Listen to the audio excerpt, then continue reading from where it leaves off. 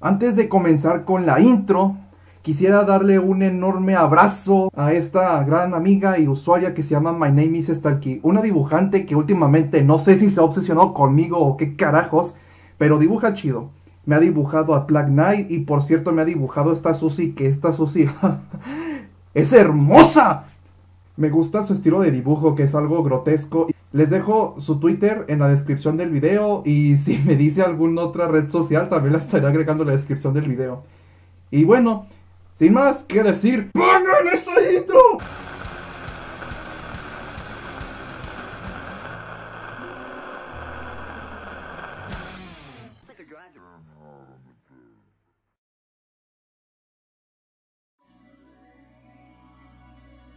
Hola a todos nenas y nenes del YouTube, soy su fantástico amigo del internet Fukobo. En esta ocasión les traigo una de las sagas que ha estado acumulando polvo en una esquina, pero que sin embargo, es una saga que sentó las bases del usuario que ahora soy. Las creepypastas extrañas. Ya quería hacer un vídeo de creepypastas aquí en el canal y sobre todo subir un vídeo. Tengo muchas cosas que contar honestamente, y que quisiera desahogarme, porque honestamente, han pasado muchas cosas que les quisiera contar, y de las cuales van a perjudicar el canal de aquí en adelante. Si estás ansioso por escuchar lo que voy a decir, te sugiero que adelantes a este minuto que ves en pantalla, para que mejor te saques la ansiedad de la mente, y así puedan escuchar mejor estas creepypastas que les traigo ahora, y de una vez les digo que estas creepypastas están muy buenas, y no solo les digo yo, sino que también mis huevos XD. Como sea, antes de esto, solo les quiero decir una cosita. Tomen aire. Tomen tanto aire como puedan.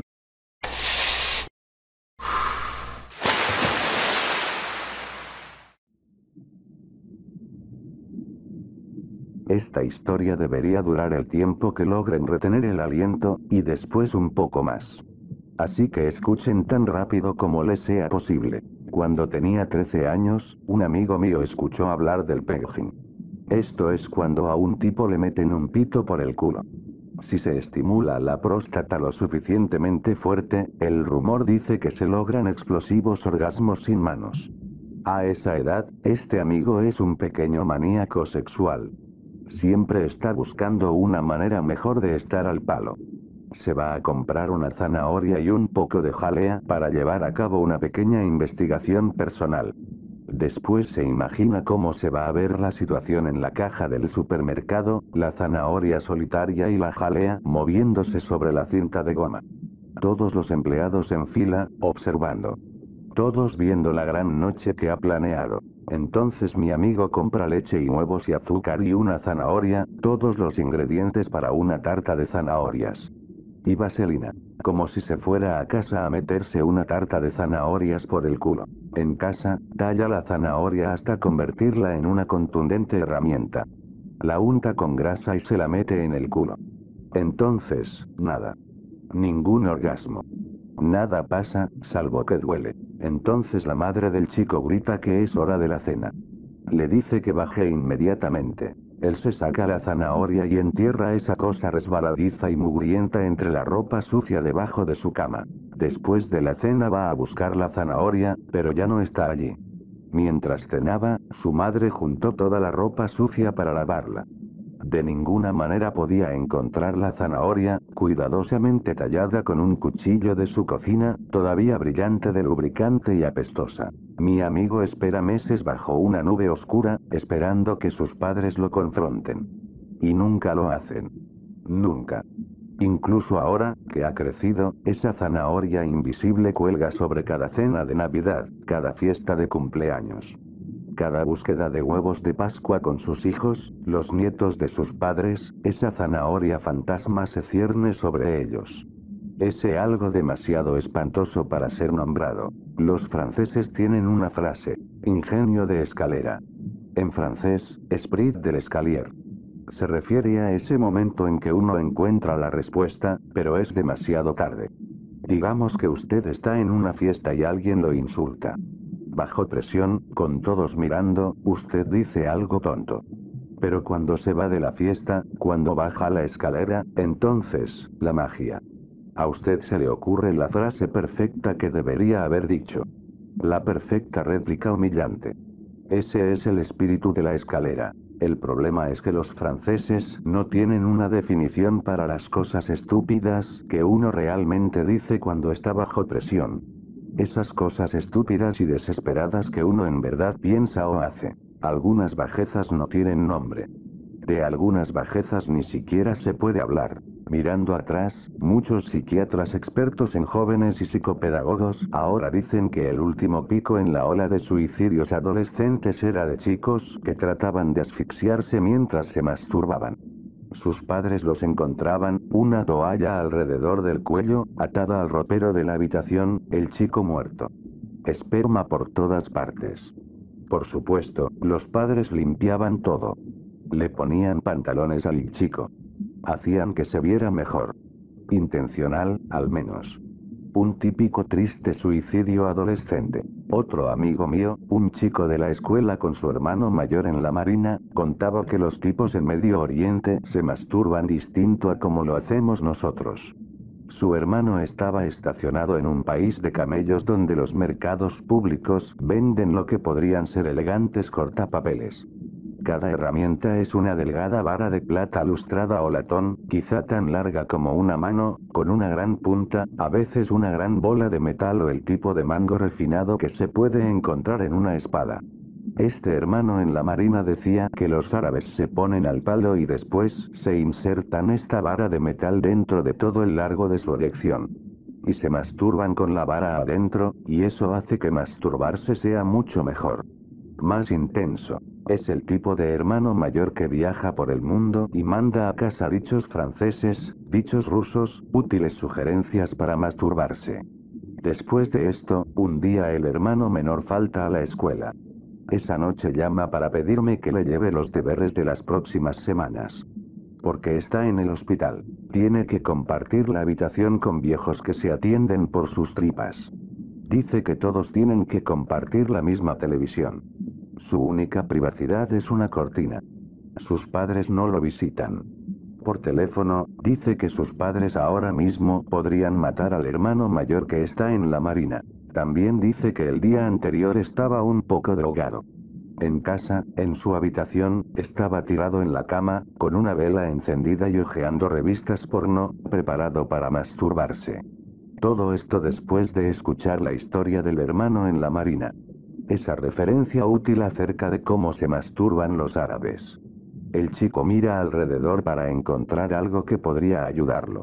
Un bolígrafo es demasiado grande. Un lápiz, demasiado grande y duro.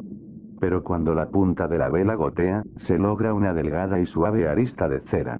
La frota y la moldea entre las palmas de sus manos. Larga y suave y delgada drogado y caliente, se la introduce dentro, más y más profundo en la uretra. Con un gran resto de cera todavía asomándose, se pone a trabajar. A una hora, dice que los árabes son muy astutos. Que reinventaron por completo la masturbación. Acostado en la cama, la cosa se pone tan buena que el chico no puede controlar el camino de la cera. Está a punto de lograrlo cuando la cera ya no se asoma fuera de su erección. La delgada vara de cera se ha quedado dentro. Por completo.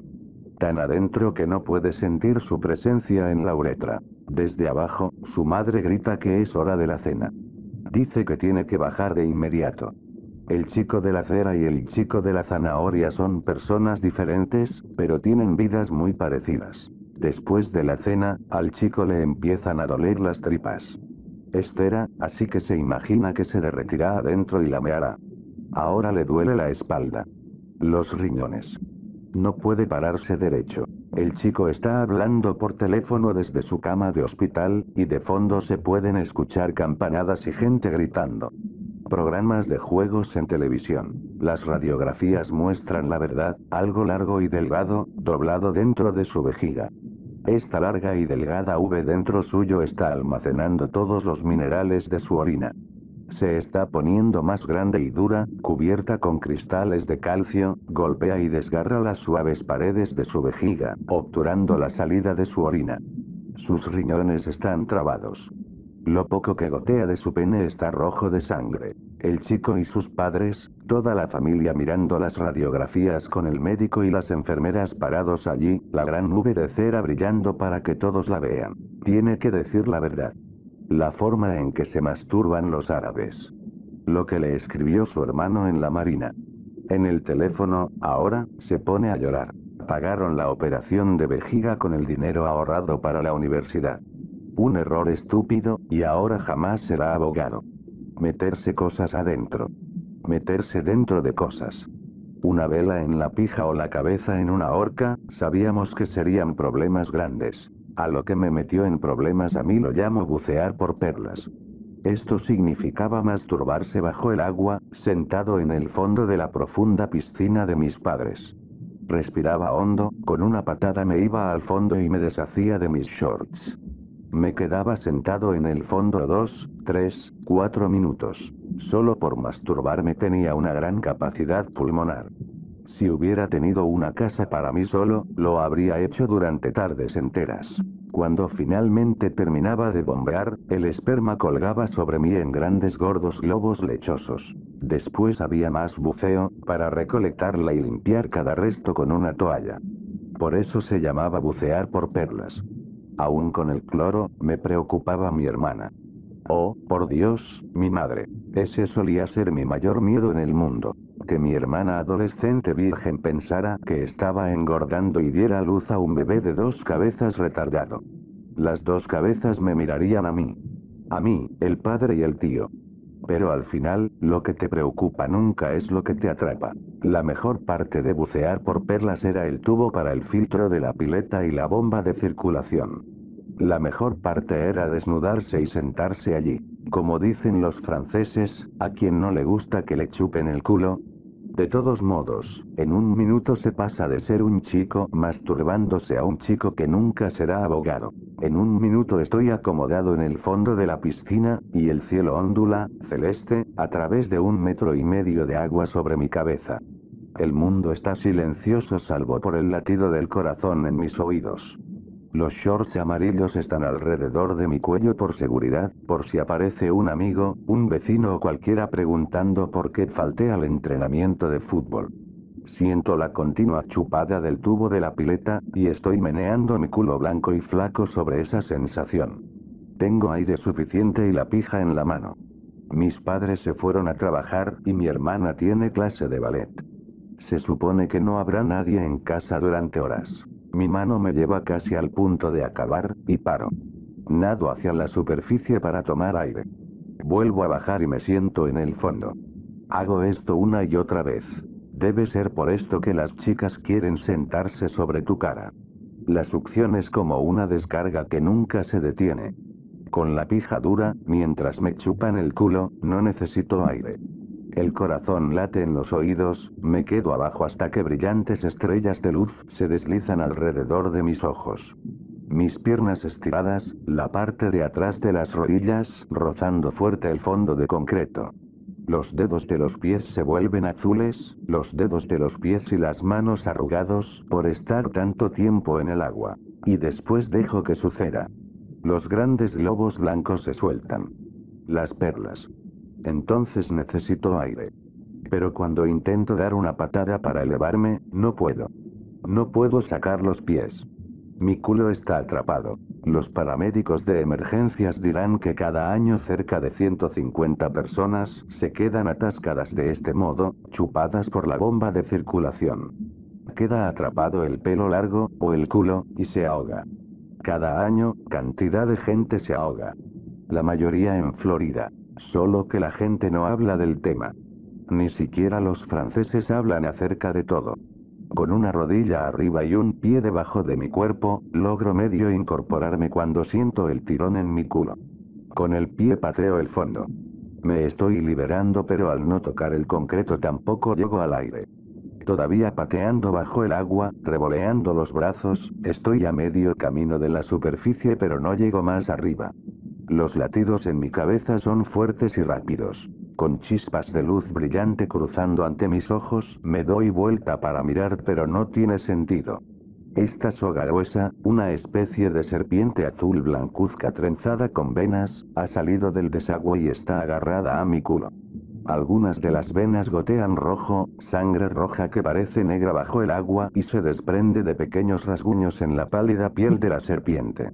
La sangre se disemina, desaparece en el agua, y bajo la piel delgada azul blancuzca de la serpiente se pueden ver restos de una comida a medio digerir. Esa es la única forma en que tiene sentido. Algún horrible monstruo marino, una serpiente del mar, algo que nunca vio la luz del día, se ha estado escondido en el oscuro fondo del desagüe de la pileta, y quiere comerme. Así que la pateo, pateo su piel resbalosa y gomosa y llena de venas, pero cada vez sale más del desagüe. Ahora quizá sea tan larga como mi pierna, pero aún me retiene el culo. Con otra patada estoy a unos dos centímetros de lograr tomar aire. Todavía sintiendo que la serpiente tira de mi culo, estoy a un centímetro de escapar. Dentro de la serpiente se pueden ver granos de maíz y maníes. Se puede ver una brillante bola anaranjada. Es la vitamina para caballos que mi padre me hace tomar para que gane peso. Para que consiga una beca gracias al fútbol. Con hierro extra y ácidos grasos omega 3. Ver esa pastilla me salva la vida. No es una serpiente. Es mi largo intestino, mi colon, arrancado de mi cuerpo. Lo que los doctores llaman prolapso. Mis tripas chupadas por el desagüe. Los paramédicos dirán que una bomba de agua de piscina larga 360 litros de agua por minuto. Esos son unos 200 kilos de presión. El gran problema es que por dentro estamos interconectados. Nuestro culo es solo la parte final de nuestra boca. Si me suelto, la bomba sigue trabajando, desenredando mis entrañas hasta llegar a mi boca. Imaginen cagar 200 kilos de mierda y podrán apreciar cómo eso puede destrozarte. Lo que puedo decir es que las entrañas no sienten mucho dolor. No de la misma manera que duele la piel. Los doctores llaman materia fecal a lo que uno digiere. Más arriba es chime, bolsones de una mugre delgada y corrediza decorada con maíz, maníes y arvejas. Eso es la sopa de sangre y maíz, mierda y esperma y maníes que flota a mi alrededor. Aún con mis tripas saliendo del culo, conmigo sosteniendo lo que queda, aún entonces mi prioridad era volver a ponerme el shorts. Dios no permita que mis padres me vean la pija. Una de mis manos está apretada en un puño alrededor de mi culo, la otra arranca el short amarillo del cuello. Pero ponérmelos es imposible. Si quieren saber cómo se sienten los intestinos, compren uno de esos condones de piel de cabra. Saquen y desenrollen uno. Llénenlo con mantequilla de maní, cúbranlo con lubricante y sosténganlo bajo el agua. Después traten de rasgarlo. Traten de abrirlo en dos.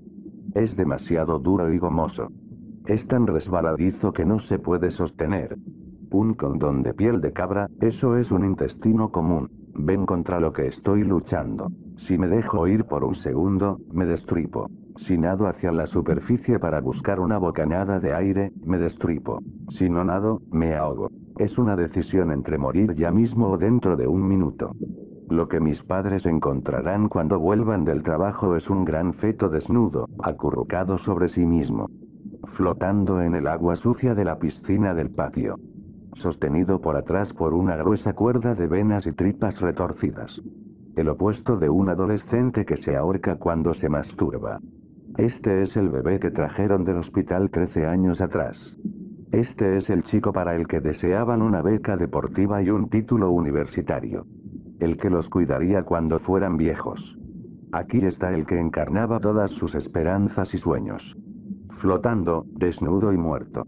Todo alrededor, grandes lechosas perlas de esperma desperdiciada. Eso, o mis padres me encontrarán envuelto en una toalla ensangrentada, desmayado a medio camino entre la piscina y el teléfono de la cocina, mis desgarradas entrañas todavía colgando de la pierna de mis shorts amarillos. Algo de lo que ni los franceses hablarían. Ese hermano mayor en la marina nos enseñó otra buena frase. Rusa. Cuando nosotros decimos, necesito eso como necesito un agujero en la cabeza, los rusos dicen, necesito eso como necesito un diente en el culo. Neetonado Kakzup Zadnitse. Esas historias sobre cómo los animales capturados por una trampa se mastican su propia pierna. Cualquier coyote puede decir que un par de mordiscos son mucho mejores que morir. Mierda, aunque seas ruso, algún día podrías querer esos dientes. De otra manera, lo que tienes que hacer es retorcerte, dar vueltas. Enganchar un codo detrás de la rodilla y tirar de esa pierna hasta la cara. morder tu propio culo. Uno se queda sin aire y mordería cualquier cosa con tal de volver a respirar. No es algo que te gustaría contarle a una chica en la primera cita. No si querés besarla antes de ir a dormir. Si les cuento qué gusto tenía, nunca nunca volverían a comer calamares. Es difícil decir qué les disgustó más a mis padres. Cómo me metí en el problema o cómo me salvé. Después del hospital, mi madre dijo, no sabías lo que hacías, amor. Estabas en shock. Y aprendió a cocinar huevos pasados por agua. Toda esa gente asqueada o que me tiene lástima la necesito como necesito dientes en el culo. Hoy en día, la gente me dice que soy demasiado delgado. En las cenas, la gente se queda silenciosa o se enoja cuando no como la carne asada que prepararon. La carne asada me mata. El jamón cocido. Todo lo que se queda en mis entrañas durante más de un par de horas sale siendo todavía comida. Chauchas o atún en lata, me levanto y me los encuentro allí en el inodoro. Después de sufrir una disección radical de los intestinos, la carne no se digiere muy bien.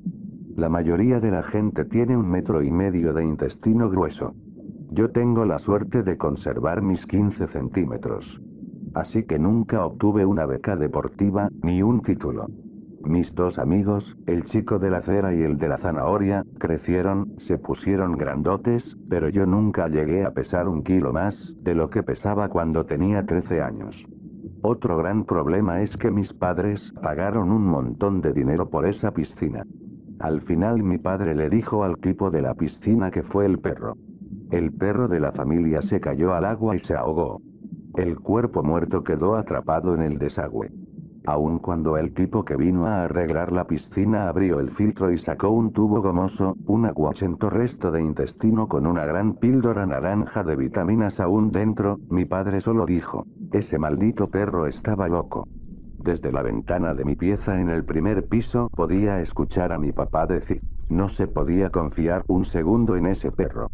Después mi hermana tuvo un atraso en su periodo menstrual. Aún cuando cambiaron el agua de la pileta, aún después de que vendieron la casa y nos mudamos a otro estado, aún después del aborto de mi hermana, ni siquiera entonces mis padres volvieron a mencionarlo. Esa es nuestra zanahoria invisible. Ustedes, tomen aire ahora. Yo todavía no lo hice.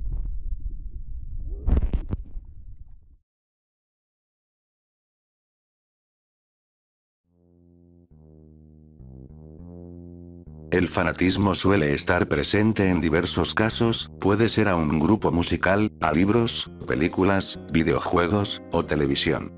Este último resulta interesante debido a que muchos crecimos con él, fuimos testigos de muchos shows de televisión que resultan ser obras maestras comparadas con los shows actuales, o al menos eso nos parece a todos aquellos que las vimos desde jóvenes, y Ed, Ed no es la excepción. Yo crecí mirando este show diariamente cuando era niño, simplemente me encantaba, era mi show favorito.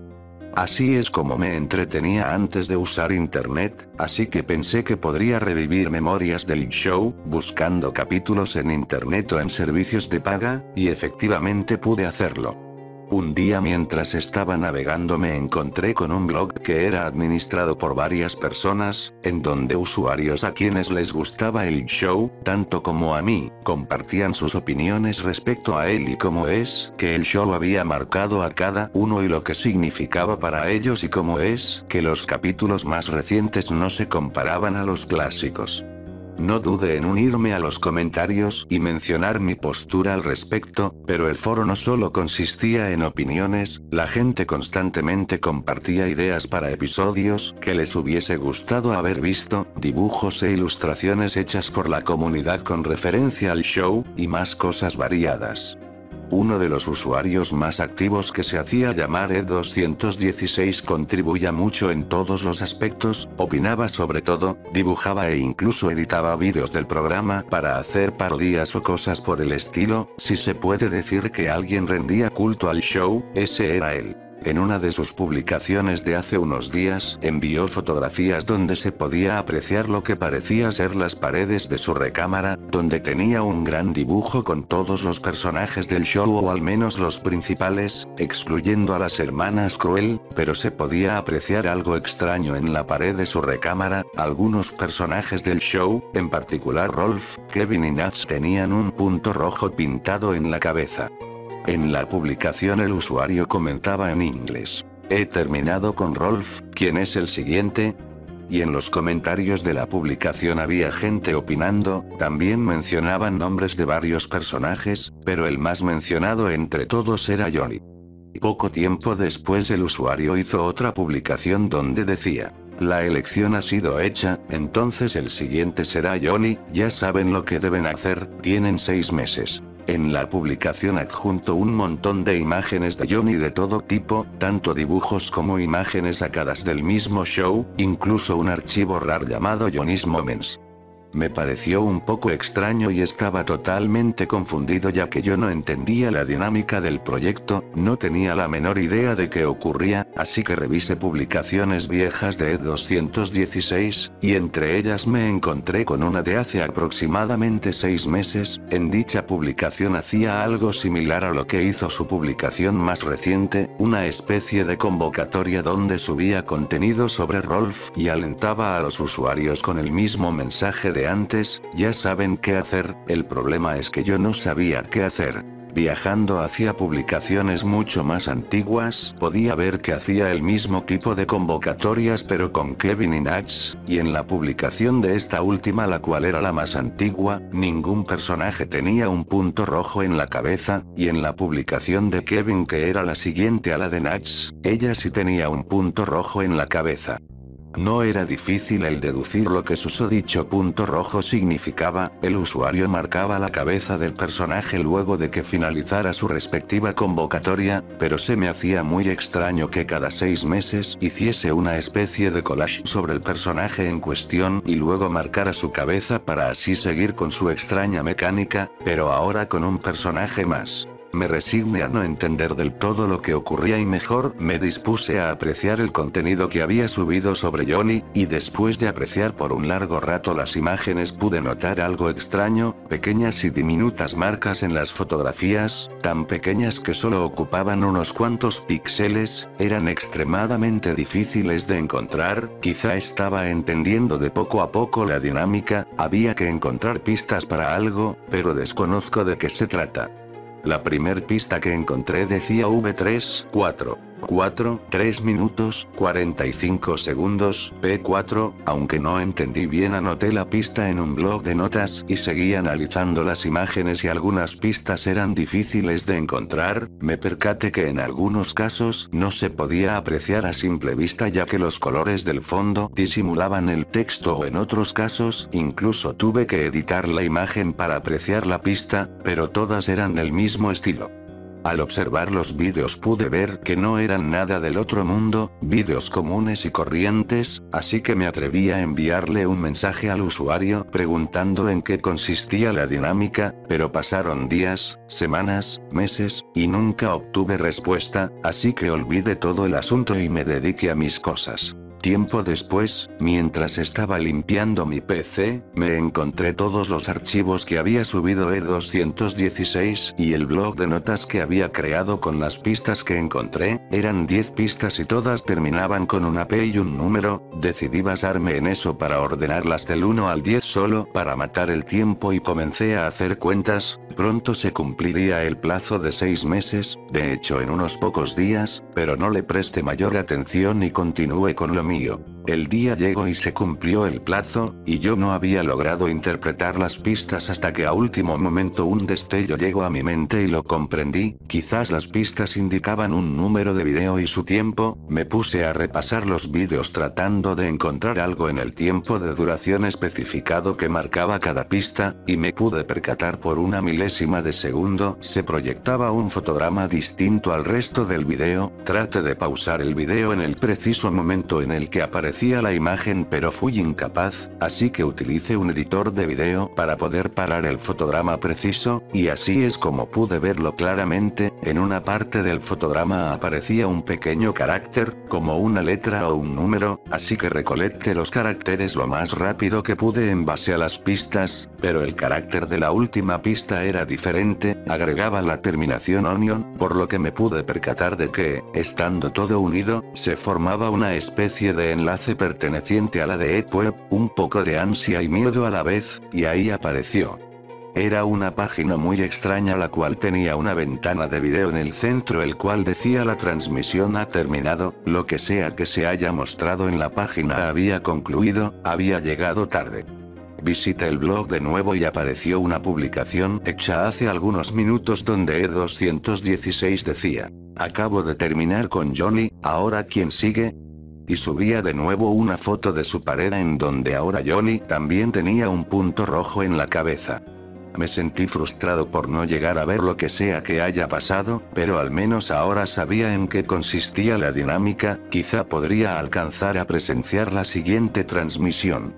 Ahora en la publicación muchos sugerían a Sara y el segundo más votado era doble D, estuve revisando constantemente el blog pero no fue sino hasta después de tres días que E216 hizo otra publicación donde decía lo siguiente pues la siguiente será Sara, pero no me gustó que muchos hayan votado por doble D, él será el último y quiero dejarlo en claro de una vez.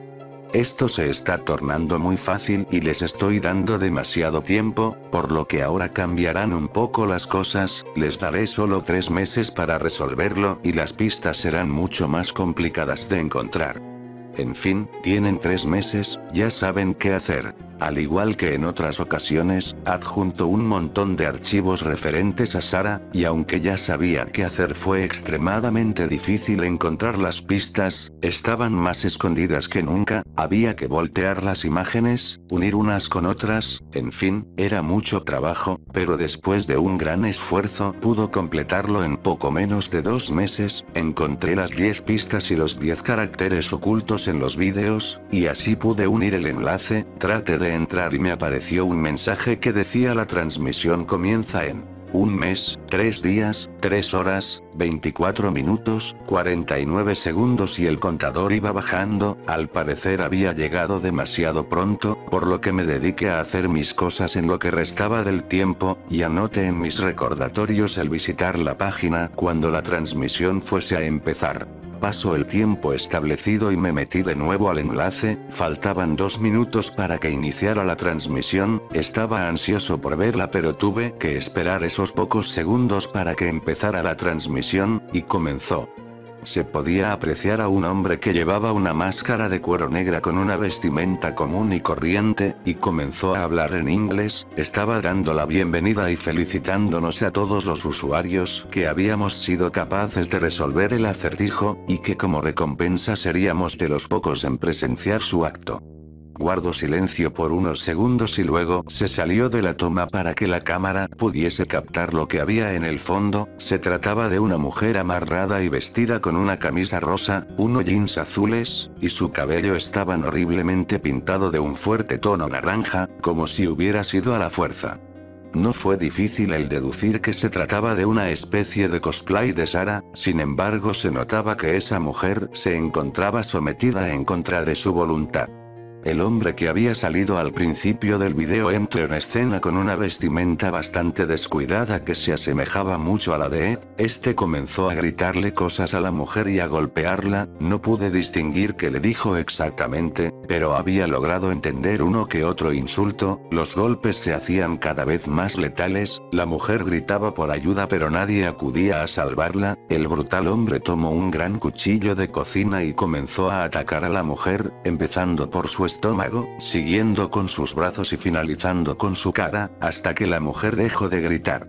No podía creer lo que estaba viendo, era una carnicería total, el asesino tomó los intestinos del cadáver de la mujer y los mostró en pantalla, había una pequeña sección de comentarios en las que todos pedían que se mostraran diferentes partes del cuerpo en pantalla, desde miembros hasta órganos, pero no lo pude soportar más, tuve que ir al baño para vomitar, y me quedé ahí mirándome al espejo. No comprendía lo que estaba ocurriendo y me aterraba el volver a mi computadora para cerrar la página, pero fue entonces cuando dejé de escuchar ruido proveniente de la PC, me acerqué y la transmisión había terminado. No sabía si llamar a la policía o si guardarme todo lo que sabía, así que decidí olvidarme del tema y pretender que nunca pasó, trate de bloquear el acontecimiento de mi mente a toda costa y olvidarme del blog de Ed216 y de todo lo ocurrido, y decidí nunca visitar la página otra vez. Dicen que la curiosidad mató el gato, y quizás sea cierto, ha pasado unos cuantos meses después del horror que me tocó ver en esa transmisión y he decidido visitar la página de nuevo, todo este tiempo he tratado de no pensar en ello, pero cada vez le doy más vueltas al tema, me pongo a pensar en todas las personas que ya habrán muerto de esa manera y de todas las que han estado muriendo mientras no he visitado el blog, pero me siento incapacitado de hacer algo, quizás si aviso a las autoridades mi vida corre peligro, no lo sé. La publicación más reciente que era de hacer dos meses mencionaba que el siguiente sería Eddie, y en la fotografía casi todos tenían un punto rojo en la cabeza, a excepción de Eddie. Eso quería decir que en mi ausencia había asesinado a Jimmy y a Ed, si es que podemos llamar así a las víctimas inocentes, y había dado un plazo de tres meses de nuevo, por lo que en poco tiempo transmitiría en vivo la ejecución de Eddie. Me arrepiento rotundamente de haber visitado el blog, lo cerré y por más que trate de no volver a entrar la curiosidad me termina venciendo, ha pasado un mes, puntualmente estoy revisando el blog y al día de hoy el 216 ha publicado algo. Bien, hemos terminado con Eddie, solo nos queda el premio gordo, ya saben quién sigue, mañana mismo subiré el contenido de doble D. Durante toda esa noche me cuestioné si lo mejor sería olvidarme del tema u observar qué es lo que pasaba con la siguiente víctima, siendo que el asesino se identificaba a sí mismo como Ed, por lo que, de nuevo, no pude vencer mi curiosidad y estuve dispuesto a dedicarle todo el tiempo posible para resolver el acertijo y acceder al video de doble D, y espero yo, el último video que transmitirá este psicópata. Como había dicho, E216 subió contenido e indicó que esta vez solo daría un plazo de un mes para resolver el acertijo, me puse a pensar que quizá dicho acertijo sería extremadamente difícil de deducir y estaba en lo correcto, creo que nunca había visto un acertijo tan difícil en mi vida, fue un infierno resolverlo, tuve que usar edición de imágenes, video, e incluso tuve que investigar un poco de otros idiomas, como el chino, latín, portugués, alemán, entre otros, para descifrar las pistas, pero a pocas horas de terminar el plazo pude resolver el acertijo. Me vi en problemas al encontrarme con que algunas pistas eran falsas pero lo resolví a fin de cuentas. Entré a la página y esta vez estaba un poco diferente, en la parte central había un mensaje que decía la transmisión comenzara en 2 horas, 14 minutos, 5 segundos y lo nuevo era que bajo este mensaje habían varios vídeos, vídeos con nombres de los personajes de los personajes de la serie, di clic en el video de Sara y efectivamente era lo que me temía, se trataba de los vídeos de cada uno de los personajes, reconocí perfectamente el de Sara porque es el único que había visto y decidí ver los demás por el amor de Dios esos vídeos se hacían cada vez más grotescos, los primeros eran asesinatos que podrían simples, con armas de fuego por ejemplo, pero conforme avanzaba cada vez eran más letales. El de Nash fue el más corto de todos, era un disparo limpio a la cabeza. En el de Kevin la víctima fue golpeada con tubos metálicos que parecían ser partes de una bicicleta, y luego fue rematado con un arma. El de Rolf fue bastante grotesco, fue despellejado vivo hasta que llegó su agonizante muerte, pero quizá lo más impactante es que sus restos sirvieron de alimento para un montón de perros, y todo estaba en video. El de Johnny era algo predecible, fue golpeado con una tabla con el dibujo de una cara hasta su muerte. El de Sara ya saben en qué consistió. Y quizá el más grotesco fue el de Jimmy, ya que le instalaron diversos dispositivos de tortura a la víctima en la cabeza, simplemente no fui capaz de verlo completo. En el Dead la víctima fue introducida en una olla grande que parecía contener aceite, por lo que se podía apreciar que apenas cupo en esta, y fue hervido hasta su muerte. Y por último Eddie, en este video la víctima recibió una tortura bastante letal, fue obligado a cargar bolsas que parecían estar llenas de monedas y a caminar de un lado a otro, y cada vez que la víctima trataba de tomar un descanso o tiraba una moneda era golpeado con un látigo por el asesino, mientras este malvado ser decía, ¿no es eso lo que siempre quisiste Eddie? Entre ver los vídeos y ligeros descansos que tomé para tratar de procesar lo que estaba pasando, se me fue el tiempo y la transmisión había comenzado. Cuando abrí el video estaba empezado pero se veía al asesino, a doble D en la mitad de la pantalla agradeciendo a todos los espectadores por su esfuerzo al resolver los acertijos y por su constancia con los vídeos, se despidió y salió de la toma. Volvió acompañado de tres chicas horribles las cuales eran como una especie de interpretación de las hermanas crueles, cada una poseía un arma blanca, un martillo, un bate de béisbol, y un tubo metálico. Mientras Doble D se reía las crueles comenzaron a golpearlo brutalmente, pero aún así Doble D no para de reír, como si estuviese disfrutando lo que le ocurría, después de unos cuantos golpes se concentraron en su cabeza hasta que Doble D dejó de reírse, pero no les importó y continuaron hasta que le desfiguraron el cráneo. Una de las chicas movió la cámara apuntando al cadáver de Doble D y dijo, ¿se han preguntado alguna vez qué hay debajo del gorro de Doble D? Y levanto el gorro para que los espectadores pudiéramos apreciar la grotesca imagen del cráneo roto de Ed con restos de sus sesos. Eso fue simplemente demasiado para mí, cerré la página inmediatamente y me fui al baño de nuevo a vomitar. Llevo varias horas encerrado en mi recámara, no sé qué hacer, no sé cómo alguien puede vivir después de ver todo lo que he visto, ni siquiera sé si lo que vi fue real, ya no puedo distinguir qué es real y qué no, pero afortunadamente Doble D está aquí conmigo. Él es muy inteligente, seguramente él podrá explicarme qué es lo que ha pasado. ¿Tú qué opinas al respecto, Doble D?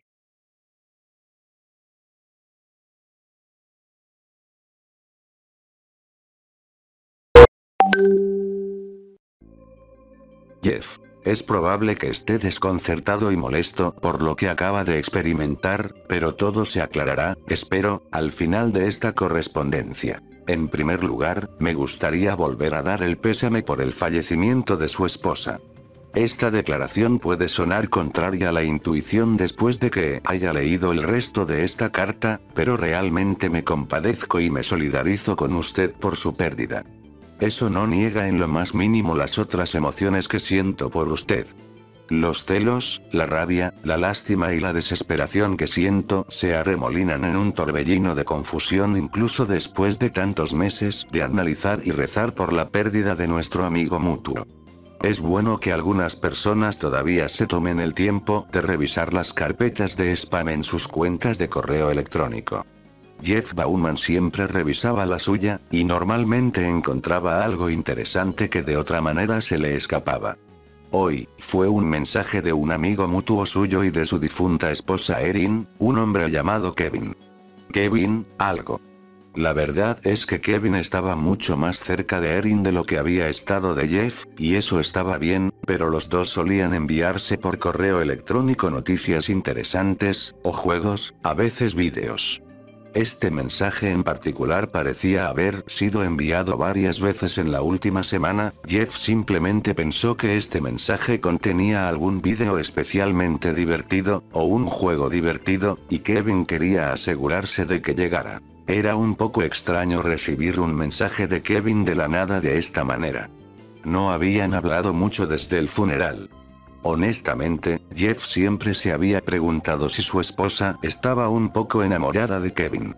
Jeff nunca se preocupó demasiado por ello, a los 27 y 24 años cuando ella murió, él y Erin habían estado casados durante unos años, y si ella estaba un poco enamorada de otro tipo, no lo hacía sentir demasiado celoso o amenazado. El asunto del correo electrónico, hey hombre mira esto, era lo suficientemente vago como para que Jeff no tuviera ni idea de lo que contenía, solo notó que tenía varios adjuntos. El email decía que los archivos adjuntos contenían unos cuantos juegos de este han rotos, y una copia pirata de la nueva película de los Vengadores que no iba a salir hasta dentro de una semana más o menos. Los juegos rotos incluían títulos de las series Counter-Strike y Dead Island, así como dos juegos independientes. Goat Simulator y Unipop. Como no era muy aficionado a los juegos de PC, Jeff solo estaba vagamente familiarizado con Goat Simulator y Unipop, y los consideraba simplemente juegos novedosos. Pero gratis es gratis, así que descargó e instaló todos los juegos. Goat Simulator era bastante autoexplicativo, pero todo lo que sabía de Unipop era que era una especie de simulador de citas H, lo que fuera. Sabía que tenía que ver con chicas desnudas del anime, y eso era suficiente para despertar su curiosidad. Así que después de un rápido vistazo a la vida de una cabra aventurera, empezó a jugar con las chicas desnudas, con la intención de jugar un poco antes de ver la inédita secuela de Los Vengadores. Fruta prohibida, como dicen.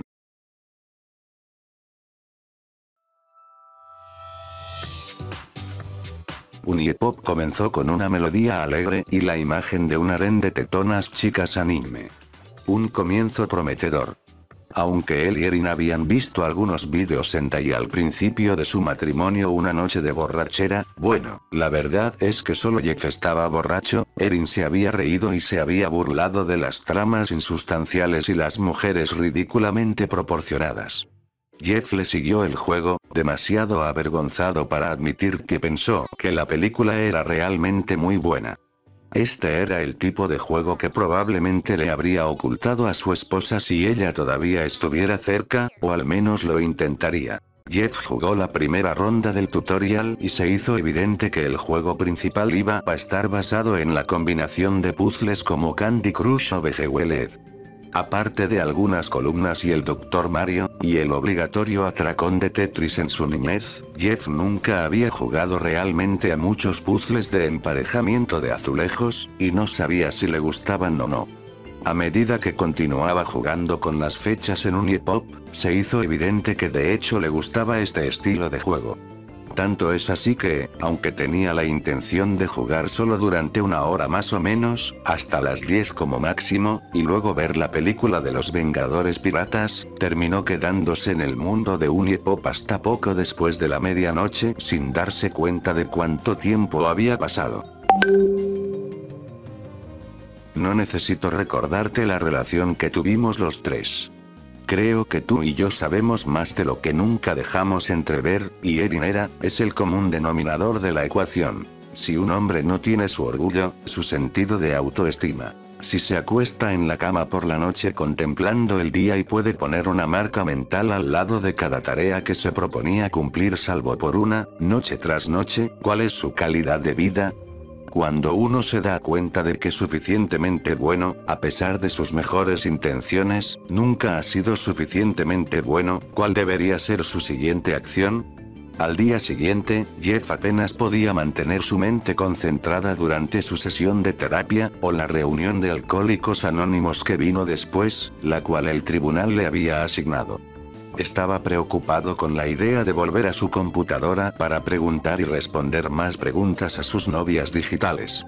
Cuando llegó el momento de tomarse de la mano y recitar el Padre Nuestro al final de la reunión de alcohólicos anónimos, estaba rumiando qué bebidas comprar a cada una de sus ansiosas amigas, privadas de sexo, cuando las conoció en el bar.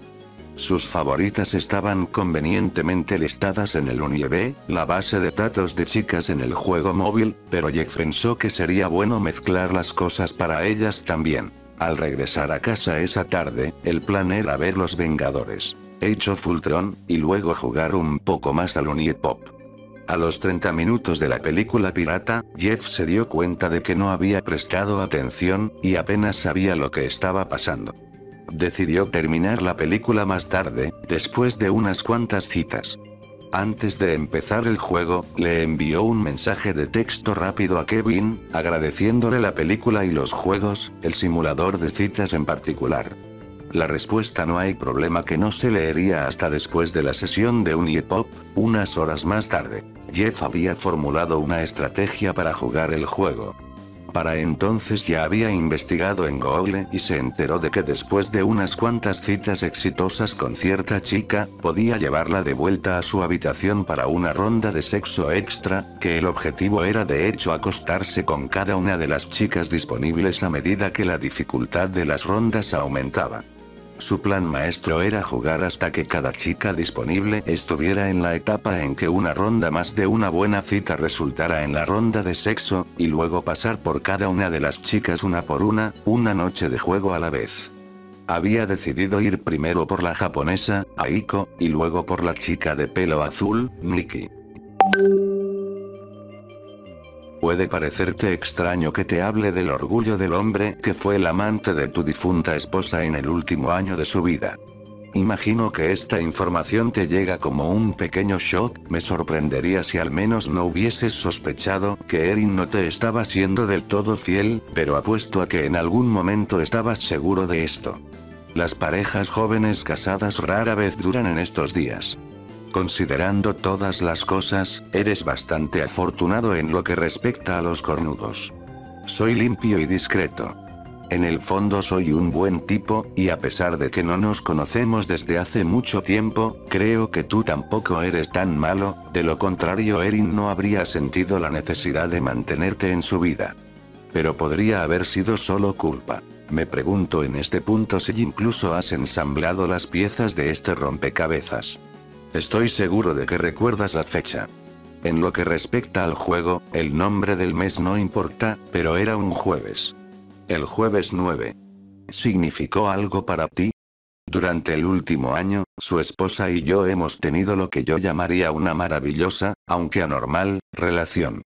Puede que empezara como una cosa sexual, pero se convirtió en mucho más.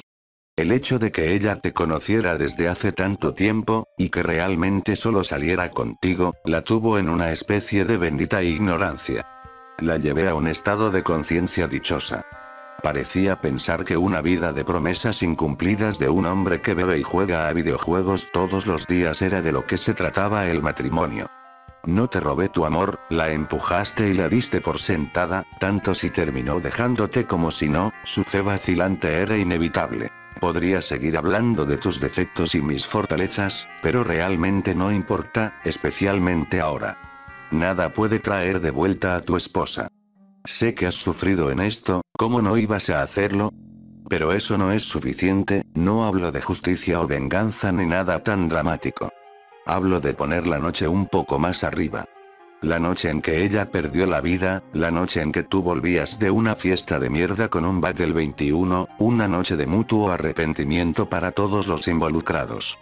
¿Recuerdas que a veces hago trabajo voluntario? Que mi trabajo principal es conducir ambulancias y vehículos de respuesta a emergencias. Sabes que fui uno de los primeros en llegar a la escena, pero eso no cambia nada. Parte del juego consiste en hablar con cada uno de los potenciales compañeros del jugador, haciendo y respondiendo preguntas para ganar Unie, una de las formas de moneda del juego, la otra se llama Munie. Las preguntas que el jugador puede hacer van desde la tontería de cuál es tu color favorito, hasta la piedra angular de toda relación exitosa. ¿Qué talla de copa estás usando? Recordar las respuestas que cada chica da a estas preguntas ayuda al jugador a ganar más unie. Las chicas también hacen preguntas periódicamente a los jugadores, exigiéndoles que recuerden la información dada en una conversación anterior, o que simplemente busquen las respuestas en línea, o que deseen escuchar su respuesta a una pregunta hipotética o personal. Cosas como ¿qué harías si encontrarás la billetera de alguien en la calle? ¿Y a cuántas chicas estás viendo en este momento? A veces Jeff encontraba las preguntas divertidas, otras veces molestas, y a veces simplemente extrañas. De vez en cuando el juego parecía fallar en ciertas preguntas para hacer o responder, las palabras se mostraban en la pantalla, pero no había voz en off. Esto ocurría típicamente en lo que Jeff sentía que eran las preguntas más extrañas. En un momento la chica india del juego, Belly, preguntó ¿alguna vez sueñas con eso? Sin aclararlo, en otro, la animadora Tiffany planteó la pregunta que tanto recordaste al día siguiente. Estas extrañas preguntas no eran comunes, pero aún así eran confusas y un poco desagradables. Parecían aparecer al azar. Jeff estaba interesado en ver si al contestar correctamente estas preguntas era una especie de subtrama o un modo de juego alternativo que solo unas pocas personas conocían. No había leído nada acerca de que otros jugadores se encontraran con preguntas extrañas o fallos, pero sabía que había algunos personajes ocultos y huevos de Pascua en el juego. Parecía que nadie lo había averiguado todavía, y no podía saber si estaba jugando correctamente a través de estos segmentos. Parecía no ganar nada de unie con las respuestas que daba o las preguntas que hacía. Con el tiempo, empezó a responderlas al azar y a pasar a la siguiente. Como no era muy hábil en los juegos de rompecabezas de emparejamiento de azulejos, a veces le llevaba un tiempo conseguir una cita exitosa, y prefería atenerse a una chica a la vez, intentando ganar una ronda de citas con ella antes de ir a ganar otra cita con una de las otras chicas. A menudo se encontraba olvidando usar los potenciadores que había ganado.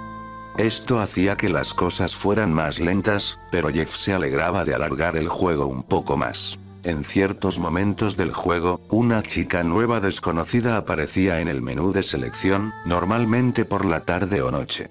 Su foto siempre estaba gris, pero no aparecía en la lista como si estuviera dormida. Jeff pensó que este debía ser uno de los personajes desbloqueables del juego, y que necesitaba hacer algún tipo de acción en un determinado momento o lugar para llegar a donde finalmente podría conocerla. Cada vez que esta chica aparecía en el Univ, intentaba dar ciertos objetos a la chica con la que estaba, para ver si esto desbloqueaba al personaje oculto. Esto nunca funcionó, y después de ir a visitar a otra chica, o de tener una cita, la mujer misteriosa se iba de nuevo. En algunas de las primeras investigaciones que Jeffrey hizo en el juego, leyó algo acerca de que las chicas desbloqueables eran una chica gato y una especie de mujer extraterrestre. Dejó de leer para no arruinar la sorpresa de encontrarlas, o descubrir otros secretos. El icono desconocido no parecía tener bigotes ni orejas de gato por lo que pudo ver, así que decidió que debía ser el extraterrestre, o alguna otra chica sobre la que no había leído. Cuantas más rondas de citas gane, más corazones aparecerán en el perfil de cada mujer. Después de unos días de juego, Jeff había conseguido para todas las chicas alrededor de tres corazones de un total de cinco posibles. Aunque cuando una chica tiene cuatro corazones es posible llevarla a la cama después de una cita por la noche, el plan era seguir con las citas de día hasta que todos tuvieran los cinco corazones llenos. Jugar de esta manera hizo que la experiencia durara mucho más tiempo. Mientras tanto, Jeff Bauman había iniciado un archivo adicional en el juego para intentar conocer a las chicas en un orden diferente para ver si esto resultaba en algún cambio en el juego. No había grandes diferencias, pero esto también sirvió para extender el tiempo que pasaba jugando. En ambos archivos de guardado se encontró con algunas de las preguntas no características, algunas iguales y otras diferentes. Se encontró con una inquisición de Audrey, la mega perra, que dijo, ¿cuál es la mejor parte? Con tres opciones de respuesta. Nada de suegros en Navidad, la cama toda para mí y nada de regañar sobre el alcohol y la droga. Esta prueba fue una que golpeó a Jeff bruscamente, ya que, parecían relacionarse con la soltería que recientemente le había impuesto. Pero al menos esta pregunta parecía tener alguna relación con el juego, ya que el personaje de Audrey usa abiertamente drogas ilegales, y una de las respuestas las mencionaba. Jeff eligió la tercera opción y la respuesta surgió. Al menos eres honesto, hijo de puta. Para cuando alguien notó que las huellas de los neumáticos conducían al bosque ya eran más de las 9 de la mañana, estuviste varias horas en un sueño de desmayo, y hacía tiempo que ella se había desangrado, ya comenzando a ponerse rígida. Creen que te enrollaste en ese arce alrededor de las 3, dejando tiempo suficiente para que tu encantadora esposa te grite para que te despiertes, buscará tu teléfono móvil, y grite pidiendo ayuda por la noche, pidiendo que le suelten el cinturón de seguridad. Apuesto a que estabas roncando, ella dijo que roncabas como un jabalí cuando estabas borracho. Te dormiste y soñaste toda la madrugada, con poco más que una conmoción cerebral. Erin no se dio ese lujo, estaba despierta y consciente hasta que empezaron las últimas etapas del shock hipovolémico. Atrapada en el asiento del pasajero con la médula espinal torcida. Ella pudo ver salir el sol mientras su arteria femoral cortada, pero pellizcada, goteaba hasta que estaba fría y azul. Hubo algo más que nunca entró en el informe, del que nunca escucharon. Tenía suficiente espacio para mover su brazo izquierdo un poco, lo suficiente para alcanzar algunas cosas como el encendedor del coche que todavía funciona, y algunas cosas en la consola central. Una de estas cosas era una de sus articulaciones escondidas. Una vez me dijo que dos de las tres veces que trató de fumar marihuana hace unos años resultaron horribles, la otra la hizo bastante relajada. Supongo que en un momento decidió que no te ibas a despertar y que no vendría ninguna ayuda, así que lo encendió y se llevó unas cuantas caladas. Encontramos la cucaracha pegada a su camisa en un flujo congelado de sangre y vómito. Solo puedo esperar que aquello aliviará sus últimos momentos en el planeta. Por fin llegó el momento en que Jeff pudo empezar a llevar a sus novias digitales a citas nocturnas y con suerte conseguir las rondas de sexo extra. Por más tonto que les haya parecido a otros, Jeff, sabiendo que tenía una noche libre para jugar, tomó una botella de whisky Chivas Regal para la ocasión. Antes del accidente de coche no era raro que tomara unas copas y jugara a algunos videojuegos, y desde la publicidad del naufragio y el conocimiento general en la comunidad de que había estado asistiendo a reuniones de 12 pasos, intentó mantener su bebida más oculta que nunca. Se había desviado unas 40 millas de su camino para ir a una licorería donde él y su coche no serían reconocidos. El archivo de guardado que cargó lo inició una mañana y se dispuso a charlar con algunas chicas antes de llevar a la chica asiática Aiko a una cita por la noche. Dos veces cuando estaba hablando con diferentes mujeres antes de que la cita comenzara, se encontró con una pantalla de preguntas sin texto real en ella. Solo una serie de elipses y las chicas haciendo sus caras de decepción. Pensó que debía haber hecho algo malo en el juego hasta ese momento, pero no parecía estar afectando el flujo principal de las cosas. Esperaba que no afectara a las citas. La noche del juego se convirtió en noche, y se encontró con Aiko en el escenario del bar y lounge.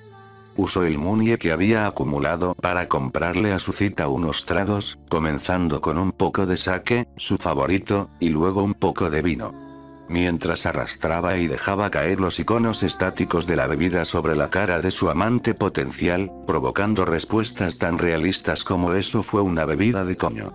Golpéame con algo más fuerte.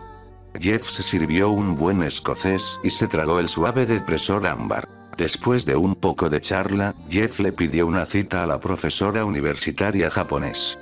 La ronda de rompecabezas en el restaurante Vinies fue muy bien, y Jeff obtuvo la puntuación necesaria para ganar usando 17 de sus 20 movimientos asignados, resultando en que Aiko hizo la oferta de venir esta noche para una lección privada.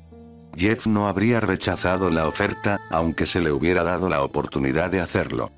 Durante unos segundos entre la ronda de la fecha que se desvanece y la aparición del texto que indica el cambio de ubicación a tu dormitorio, una imagen corrupta apareció en la pantalla y parpadeó antes de que comenzara la ronda de bonos de dormitorio barra sexo. No estuvo ahí el tiempo suficiente para darle sentido, pero parecía ser un collage de imágenes del juego. Por fin llegó el momento de que Jeff Bauman fuera despojado de su virginidad digital. La mecánica de la ronda de bonos era ligeramente diferente de las citas normales, ya que todos los azulejos emparejados daban la misma cantidad de puntos, y la puntuación total disminuía constantemente. Esto daba una sensación de carrera contra el reloj, una carrera locada para hacer coincidir tantos azulejos tan rápido como se pudiera para conseguir la puntuación requerida. Jeff, al jugar con un ratón, se veía un poco obstaculizado por tener que hacer clic y arrastrar los azulejos a donde quería colocarlos, donde una pantalla táctil hubiera sido más óptima para la velocidad. No importaba, estaba decidido a maximizar el medidor de placer y ganar la ronda de bonos. Jeff no se había dado cuenta de que mientras escudriñaba la cuadrícula de azulejos, tratando de planear dos y tres movimientos hacia adelante, había comenzado a sudar y se mordió el labio superior con creciente ferocidad. Cuando llegó a la marca de la mitad del medidor de placer, apenas notó que el sostén que su inanimada y computarizada amante llevaba puesto se había desintegrado y sus brillantes pechos de alta definición estaban en plena exhibición. El emparejamiento de sus azulejos se volvió más frenético a medida que los gemidos de Aiko aumentaban en frecuencia. Antes de que pudiera llenar el medidor de placer y llevar al clímax a la profesora obsesionada, su monitor comenzó a parpadear y a tener fallas. Antes de que pudiera registrar lo que estaba sucediendo, la pantalla se había vuelto negra. No estoy seguro de si sabías esto, pero también parecía que usó el encendedor del coche para intentar encender algunos papeles y el manual de instrucciones. Encontramos unas cuantas servilletas quemadas y el manual del propietario con las esquinas chamuscadas a unos metros del accidente. Supongo que estaba tratando de iniciar un incendio para levantar un poco de humo con la intención de alertar a cualquiera en los alrededores. No funcionó. Debió darse cuenta de que iniciar un incendio podría haberlos quemado, probablemente se habrían quedado dormidos, pero ella seguía despierta en ese momento. ¿Puede imaginar la desesperación, la pérdida de esperanza que haría que una persona considerara eso? Trato de no pensar mucho en ello. Uniendo sus ojos secos, Jeff aflojó su mandíbula y se inclinó hacia atrás desde el monitor en blanco. Como una formalidad, vertió otro whisky alto en su vaso y se lo tragó en una sola abertura de su garganta, sin tomarse el tiempo de disfrutar el sabor del costoso alcohol. Siseó la quemadura a través de sus dientes, y luego evaluó la situación. Antes de que pudiera empezar a hacer clic para probar la computadora, el juego volvió a la pantalla. La fecha aparecía en texto blanco como de costumbre, seguida de una imagen que era familiar pero también única. Lo que Jeff vio fue una chica nueva, una que no había encontrado o visto fotos de antes. Ella estaba de pie en el parque por la noche mirando hacia abajo. Tenía una constitución diferente a la de las demás chicas del juego, parecía gorda, incluso rechoncha, llevaba vaqueros y una camiseta negra con el logo de Judas Priest. Este detalle es lo que impresionó a Jeff. Una camiseta negra sencilla de Judas Priest bastante idéntica a la que tenía su esposa. Fue en este punto que miró hacia la esquina inferior izquierda de la pantalla y vio el icono de la chica desconocida que había notado grisáceo mientras jugaba. Ahora estaba en color, y tenía un nombre, Erin. Shock es una palabra que se usa mucho en la conversación diaria, pero es la palabra más apropiada para la reacción de Jeff al ver una interpretación anime japonesa de su esposa muerta en un simulador de citas de rompecabezas para adultos.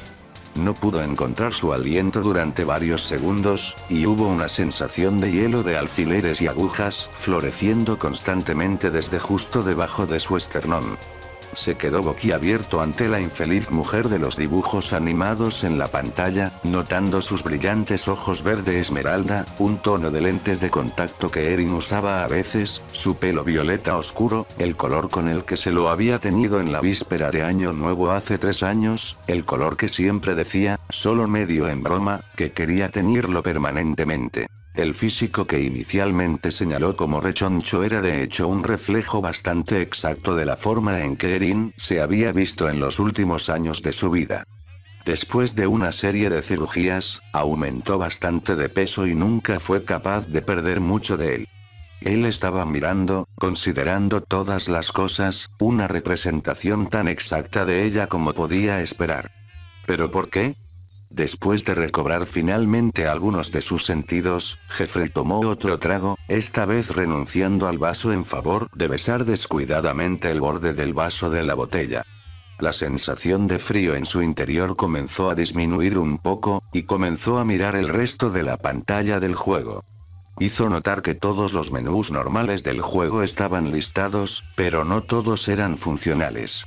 Muchos de los botones no hacían nada cuando se pulsaba, el medidor del corazón estaba vacío, al igual que los medidores del hambre y la intoxicación. pudo comprobar el perfil de Erin, y esto enterró cualquier duda que hubiera podido esperar sobre una coincidencia o algo así. Toda la información estaba en la pantalla. El nombre de ella, su apellido de casada, y su nombre estaba ahí. Su cumpleaños que era a finales de invierno, su trabajo en una tienda de regalos, su baja estatura, incluso el tamaño de su sujetador. No podía desplazarse por el resto de la aplicación del juego Unieve, pero no tenía necesidad de hacerlo. Todo lo que ya había visto era suficiente para que su cabeza diera vueltas. De nuevo vio que ninguno de los corazones estaba lleno, y sin embargo una de las únicas opciones que parecía poder pulsar era la de preguntar por la cita, que decía que sería una cita nocturna en lugar de una primera cita. La única otra cosa que parecía hacer era hablar con ella, aunque la lista decía que no se otorgarían puntos por hacerlo. En contra de su buen juicio, pulsó el botón azul claro para que ella participara en la versión de Uniepop de la conversación. Y sí, dije que ustedes tres. Eso no fue un error de imprenta. Mientras pasabas los últimos meses en una neblina de alcohol y marihuana, Erin me dijo que te habías vuelto como dicen, cómodamente entumecido. En todas partes. Tal vez no la encontraste sexy desde que subió de peso, tal vez solo perdiste tu líbido, pero ella no había perdido la suya. Puede que no lo hayas notado, pero me dijo que se había estado despertando por la noche y enfermando, que se había retrasado su periodo. No tengo ninguna duda de quién era el padre.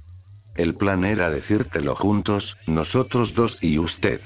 Me pareció obvio, pero supongo que ustedes no pudieron ver que las cosas habían terminado. Aunque me contó tus problemas en la cama, también mencionó una vez que aún te gustaban las chicas más animadas. Tenía el presentimiento de que al final te pondrías a jugar al Uniepop. No sé una mierda de programación, pero mi hermano pequeño sí, y yo soy un artista. Solo quería decírtelo, mostrarte lo que vi y experimenté estos últimos meses de una manera que podría tener un impacto en tu cerebro de lento declive. En cierto modo, tienes derecho a saberlo todo. Ahora lo tienes. Tal vez ahora pueda conseguir un cierre, en cuanto a ti, estás por tu cuenta. Imagino que tienes más preguntas, pero honestamente no me importa ahora. Me compadezco de tu pérdida, pero tampoco quiero volver a verte o saber de ti. Espero que al menos podamos concedernos eso.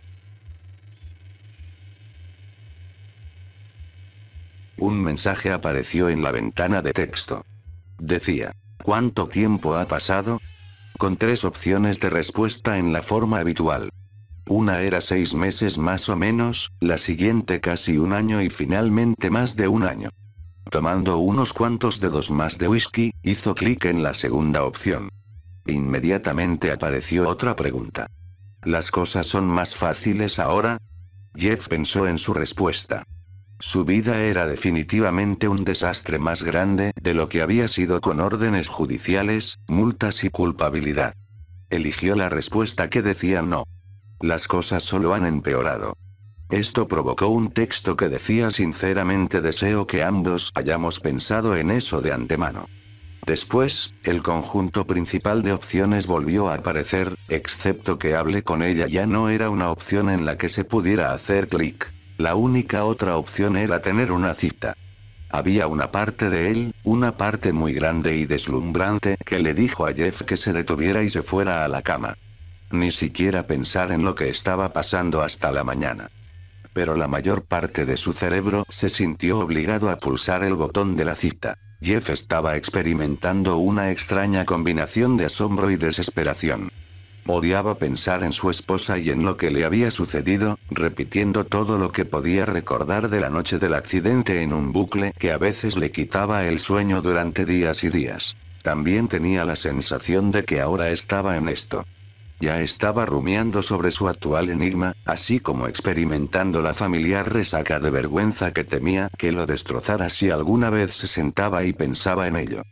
Si al menos no llegaba hasta el final, tendría otra sensación de asuntos pendientes que lanzar a la pila cada vez más grande. Lo mejor que podía hacer por su conciencia era jugar con esto un poco más de tiempo antes de analizarlo. Hizo clic en el botón de la fecha. Las imágenes en la pantalla se disiparon y se desvanecieron a negro como de costumbre. El texto estándar se desvaneció al anunciar que el escenario estaba cambiando de nuevo al dormitorio. Parecía que no habría una fecha formal en esta época. El dormitorio apareció y la rejilla de juego y la chica se deslizaron a la vista.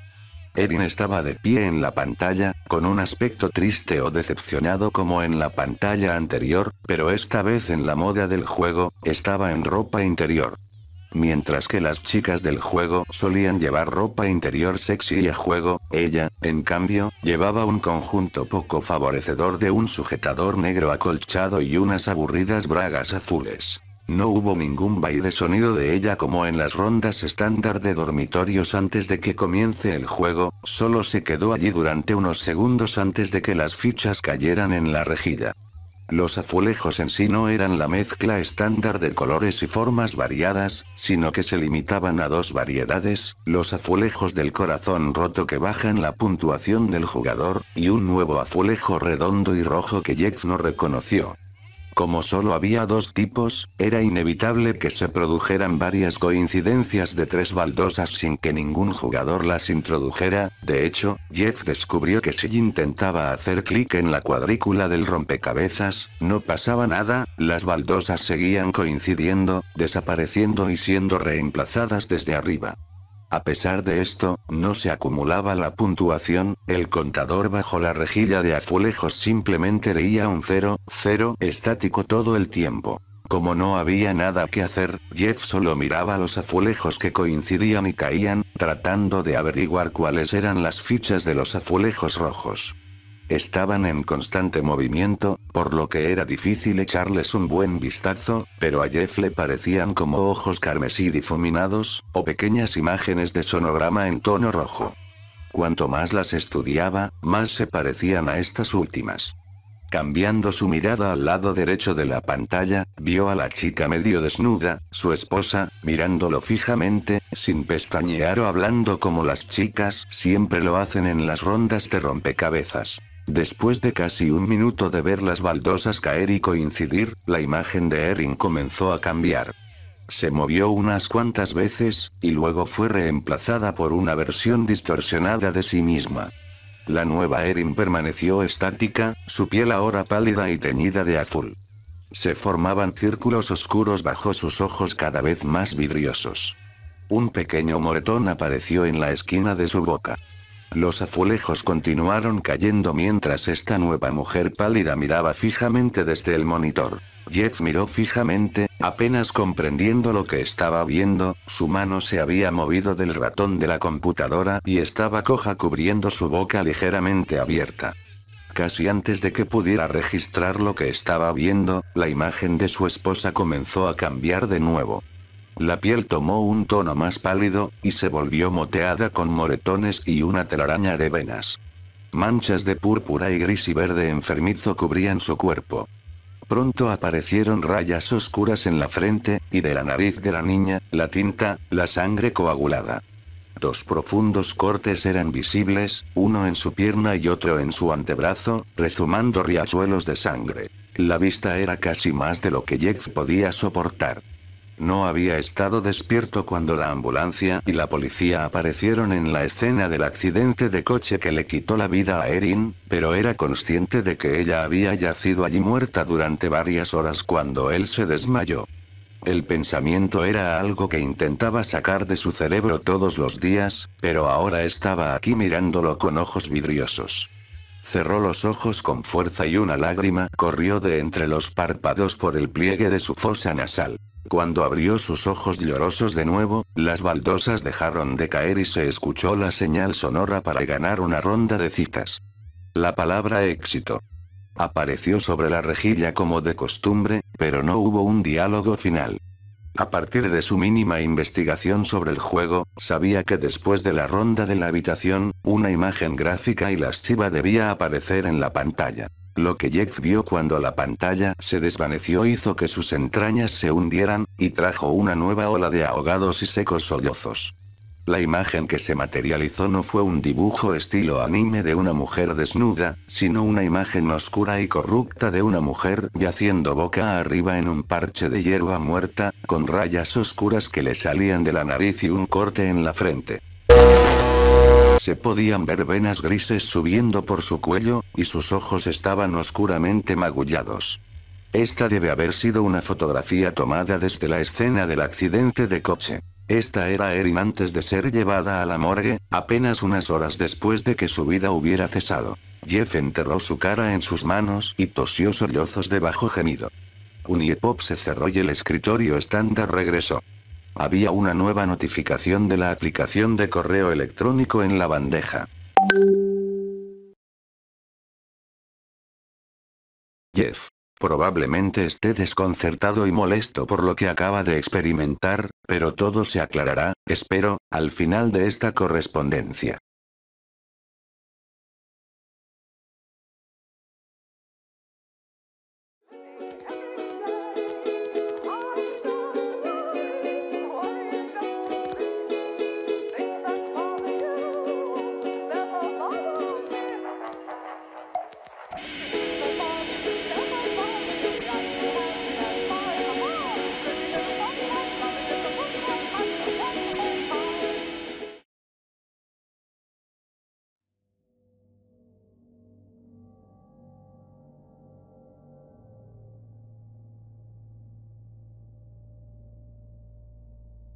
El mundo en el que vivimos está lleno de cosas que no entendemos. Siendo los seres humanos curiosos que somos, naturalmente tratamos de buscar estas cosas. Hacerlo nos ha llevado a descubrimientos e invenciones notables que nunca podríamos haber imaginado hace 100 años. Hemos derrotado a las enfermedades, construido hasta el cielo mismo e incluso hemos creado máquinas que podrían llevarnos más allá de las nubes y hacia las estrellas.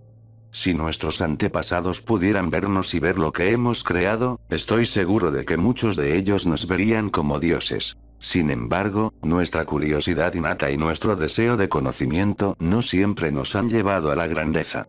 La verdadera maldad y oscuridad también se han descubierto en la conquista del conocimiento por parte de la humanidad. Y al final, temo que este mal será nuestra perdición. No digo esto desde el punto de vista de un gran filósofo que se ha sentado y simplemente ponderado las cosas tampoco, no, lo digo porque lo he visto. Lo experimento. Yo era parte de eso. El evento que estoy a punto de transmitirles es cierto en su totalidad, lo juro. Estoy seguro de que esto caerá en oídos sordos y muchos de ustedes creerán que esta es solo otra historia espeluznante destinada a brindarles emociones baratas, pero les prometo que esta no es mi intención ni mi propósito. El propósito de esta historia es simplemente advertirle de lo que acecha más allá del velo, de lo que podemos ver y comprender, para mostrarte lo que nos espera en la oscuridad. Incluso si yo mismo no lo entiendo. Lo que voy a contarles ha sucedido y estoy seguro de que volverá a suceder. En 1971, un científico no tan conocido comenzó los preparativos para un proyecto extremadamente secreto conocido simplemente como el experimento del Heraldo. Me gustaría mantener en secreto la identidad del científico por razones personales, por lo que a lo largo de este relato me referiré a él como Zimmerman. Los antecedentes de Zimmerman no están claros en el mejor de los casos después de 1971. Todo lo que se sabe de él antes de esa época es que había crecido en algún lugar de Maryland con una extraña fascinación por lo oculto y lo sobrenatural. Esto más tarde lo convirtió en un paria entre sus compañeros científicos debido a lo burlado que era, y todavía es, lo metafísico en ese momento. Sin embargo, las opiniones de Zimmerman sobre el otro mundo no fueron la única causa de que fuera un marginado. Fueron sus métodos los que lo hicieron ampliamente inaceptado entre sus compañeros. Zimmerman fue bien conocido durante su tiempo por ser despiadado y frío sin medida. Nunca le importaron los medios. Todo lo que le importaba eran los resultados, y si predijo que los resultados serían lo suficientemente valiosos, cualquier cosa valdría la pena obtenerlos. Era esta lujuria insaciable y brutal por la verdad lo que lo hacía temido entre los que lo conocían. Y los pocos que lo conocían y no le temían creían en él y lo seguían de cerca a él y a su trabajo. La palabra presagio en sí tiene un sabor tan misterioso e intimidante. Tal vez sea la forma en que salimos de nuestras lenguas o tal vez simplemente se deba a su asociación con el proyecto, pero la palabra siempre parece llevar una cierta cantidad de fatalidad. Lo que tendría sentido, la palabra en sí significa advertir o presagiar. No puedo imaginar la razón de Zimmerman para darle este título al experimento, pero en retrospectiva, encaja perfectamente. Zimmerman se acercó a unos pocos, yo soy uno de ellos, nos dijo que estaba trabajando en algo grande y que necesitaba personas que pudieran mantener la confidencialidad y no difundir chismes ociosos sobre su trabajo. Si bien no confiaba plenamente en algunos de nosotros, sabía que éramos profesionales y que, por alguna razón u otra, todos necesitábamos un empleo con urgencia. Había trabajado en la clínica local como médico, pero me pillaron robando medicamentos y me despidieron de inmediato. Esto dejó una marca muy oscura en mi currículum, por lo que fue difícil encontrar trabajo.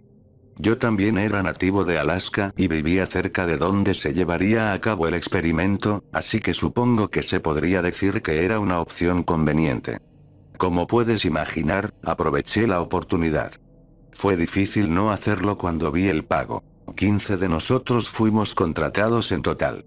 Algunos eran compañeros suyos que llevaban tiempo trabajando con él, algunos eran trabajadores de mantenimiento y unos pocos fueron contratados como seguridad privada.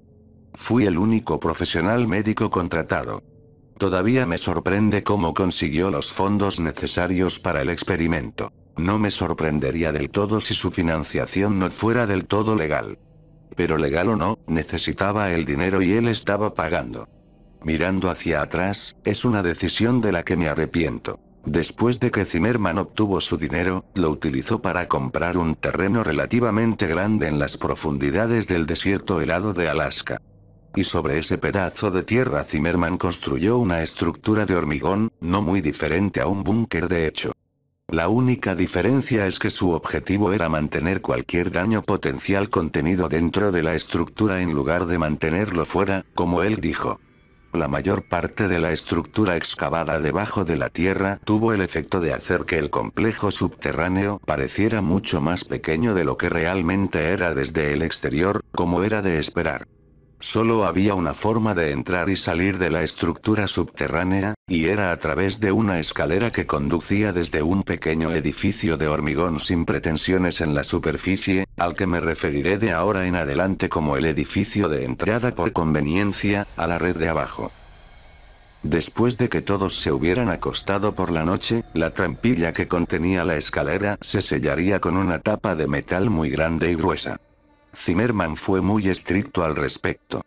No muy lejos del edificio de entrada había una serie de cabañas de madera que servirían como dormitorio para el personal que Zimmerman había contratado. Comparado con el edificio de entrada que se encontraba en la superficie, el sistema subterráneo era enorme. En el centro del complejo estaba la sala de control. Aquí es donde se vincularon todos los componentes electrónicos de la instalación y demás, esto incluyó cámaras de seguridad, luces y controles de puertas. Consolas, monitores y computadoras se alineaban en las paredes de esta gran cámara central. Aquí es también donde la escalera en el edificio de entrada se conecta al complejo subterráneo. Conectadas a la sala de control había tres puertas. Uno conducía a una habitación más pequeña que servía como enfermería, otra puerta conducía a una sala de descanso y la última puerta conducía a los pasillos. Los pasillos es donde el complejo comenzó a sentirse extremadamente inquietante. Por alguna razón, se establecieron en un esquema extremadamente confuso que conducía en círculos y terminaba en callejones sin salida. Estos pasillos constituían la gran mayoría del complejo y sería muy fácil perderse en el laberinto si no estuviera familiarizado con el complejo. Pero si supiera a dónde se dirigía, se encontraría de pie ante una de las tres habitaciones de 8 por 2 metros y medio. Cada habitación tenía una cámara conectada a una de las esquinas de la habitación y las tres cámaras estaban conectadas a un monitor correspondiente en la sala de control. Las cámaras también estaban esparcidas por los pasillos, para que quien estuviera mirando su monitor correspondiente pudiera ver donde quisiera cuando quisiera. Gruesas puertas de metal estaban en la entrada de cada una de las tres habitaciones de 8 por 2 metros y medio y para abrirlas, tendría que ingresar un código de cuatro dígitos en un panel ubicado cerca de la puerta. Recuerdo cuando llegué por primera vez al complejo lo mucho que me asustaban los pasillos. Verás, siempre he sido claustrofóbico, y esos pasillos eran muy estrechos. El ruido, o, más exactamente, la falta de ruido, también fue una tremenda fuente de miedo para mí en esos pasillos estrechos y desolados. Siempre había un silencio tan antinatural, como si el mundo entero hubiera dejado de moverse. Realmente te hizo sentir como si estuvieras atrapado allí. Afortunadamente, sin embargo, rara vez me aventuraba en esos pasillos porque era el único profesional médico en las instalaciones y prácticamente no tenía ninguna razón para entrar en ellos. Al principio me pareció tan peculiar que Zimmerman pidiera un profesional médico como yo en un proyecto como este, pero cuando todo terminó, entendí por qué. El propósito oficial del experimento Arbinger era probar y observar los efectos del aislamiento prolongado en la mente humana. Esto es lo que se enumeró al menos en los informes enviados. Pero sin el conocimiento de todos los que no participaban en el proyecto, excluyendo a los sujetos, el verdadero propósito era mucho más oscuro. Como dije antes, Zimmerman siempre había tenido una obsesión con lo oculto y lo sobrenatural. Trató de probarse a sí mismo ante aquellos que no creían en él. Quería una prueba física de que lo sobrenatural era un fenómeno real, y quería ser el primero en obtener dicha prueba. El verdadero propósito del experimento de Arbinger era encontrar pruebas de lo metafísico. Un mundo que no pudimos ver. La idea de hacer esto era naturalmente un poco desalentadora e incluso aterradora, pero era el método de Zimmerman para hacerlo lo que era realmente aterrador. Zimmerman creía que sería capaz de abrir un portal entre mundos momentáneamente, permitiendo que tres entidades aleatorias cruzaran a nuestro mundo, y cada uno de estos seres quedaría atrapado dentro de una de las tres habitaciones. Zimmerman tenía la teoría de que cualquier entidad trataría de aferrarse al ser vivo más cercano que tuviera la capacidad para ello. Quería utilizar esta técnica para atrapar un espíritu en una forma física al permitirle entrar en un ser vivo que había sido inyectado con una mezcla compuesta de la creación de Zimmerman. En teoría, este compuesto evitaría que la entidad simplemente dejara aquello a lo que estaba unido. La única forma en que podría dejar a un huésped al que se le había inyectado el compuesto era mediante la muerte. Según Zimmerman, el anfitrión tendría que ser algo vivo, con una voluntad lo suficientemente fuerte como para sobrevivir a la posesión. Y solo hay una especie conocida que posee la cantidad de voluntad necesaria para ello. Humanos. Zimmerman también había hecho algo para asegurarse de que las entidades solo entrarán en las tres habitaciones y que solo hubiera una entidad en cada habitación, aunque no puedo decir que sé qué hizo exactamente. De hecho, no sé casi nada cuando se trata de cómo Zimmerman logró hacer lo que hizo. Le gustaba mantener su metodología en secreto para sus colegas de más confianza, probablemente debido a su paranoia de que alguien le robara sus ideas y se atribuyera el mérito del éxito de dichas ideas. Si hubiera sabido que este era el verdadero propósito antes de inscribirme, es posible que lo hubiera reconsiderado. Pero Zimmerman decidió no decírnoslo hasta que estuviéramos todos reunidos en su fortaleza. Incluso si alguno de nosotros quisiera irse, dudo que nos hubieran permitido hacerlo. El equipo de seguridad que Zimmerman había contratado le era leal y el pago. No es probable que Zimmerman les hubiera dado la orden de permitir que nadie se fuera. Había tres sujetos diferentes incluidos en el experimento, todos eran nativos de Alaska y cada uno fue atraído al proyecto bajo la creencia de que participarían en un estudio inofensivo del efecto del aislamiento en la mente humana, como mencioné antes.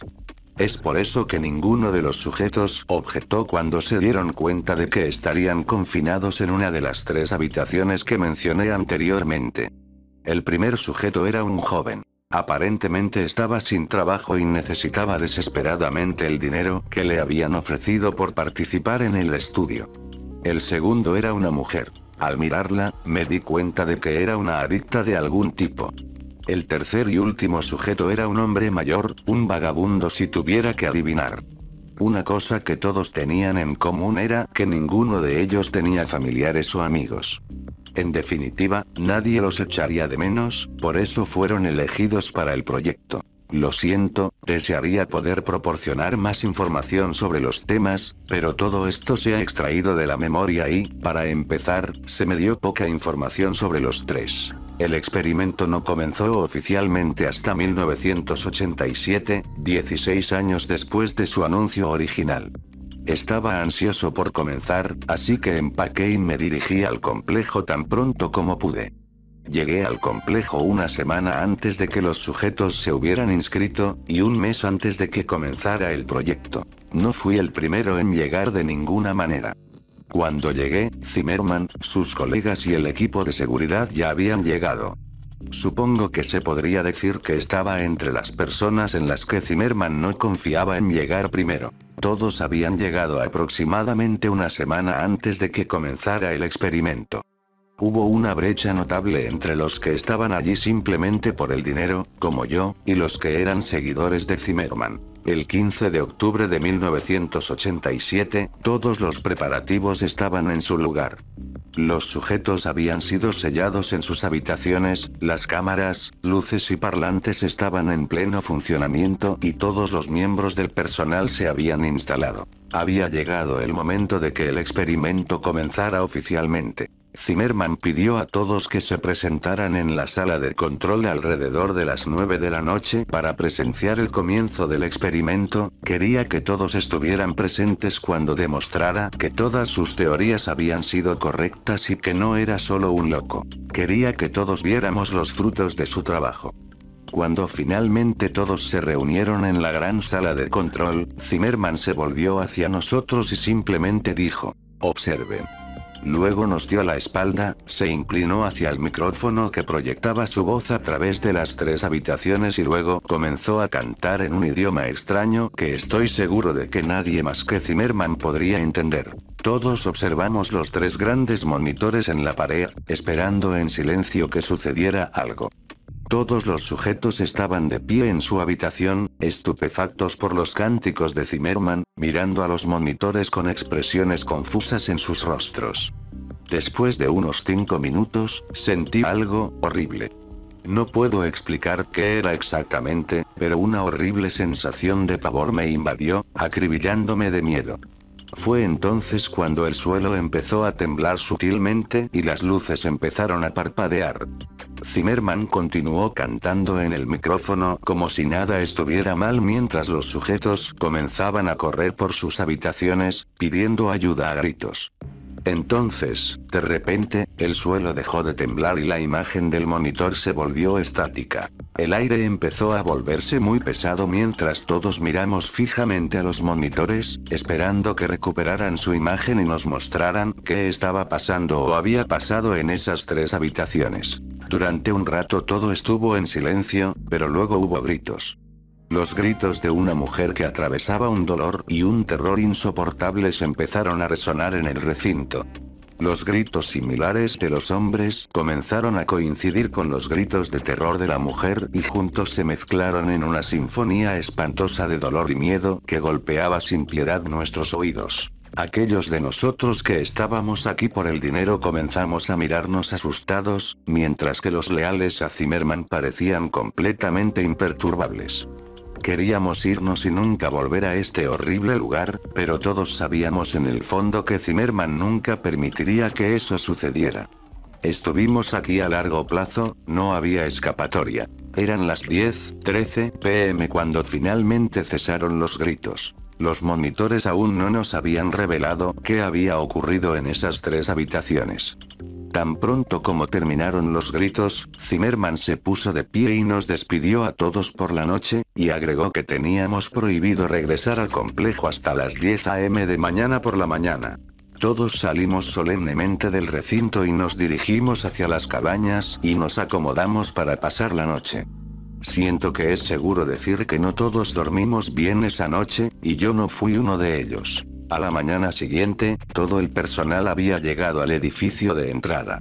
Todos nos quedamos adentro intercambiando miradas de cansancio o nerviosismo mientras esperábamos a que llegara Zimmerman y abriera la escotilla que ocultaba la escalera. Pude ver un miedo palpable en los ojos de algunos de nosotros, mientras que otros no parecían haber sido afectados ni remotamente por lo que sucedió anoche. Zimmerman apareció cinco minutos después de las diez, disculpándose por su tardanza cuando entró por la puerta del edificio de entrada. Abrió la escotilla y, sin dudarlo, comenzó a descender la escalera hacia el abismo negro. Casi parecía entusiasmado. Fui el primero en seguir el oscuro descenso de Zimmerman a las instalaciones. Parecía que cuanto más bajaba, más se cerraba la oscuridad sobre mí, como si quisiera tragarme por completo. Y a medida que subía más profundo, no pude evitar sentir que este lugar era, diferente de alguna manera.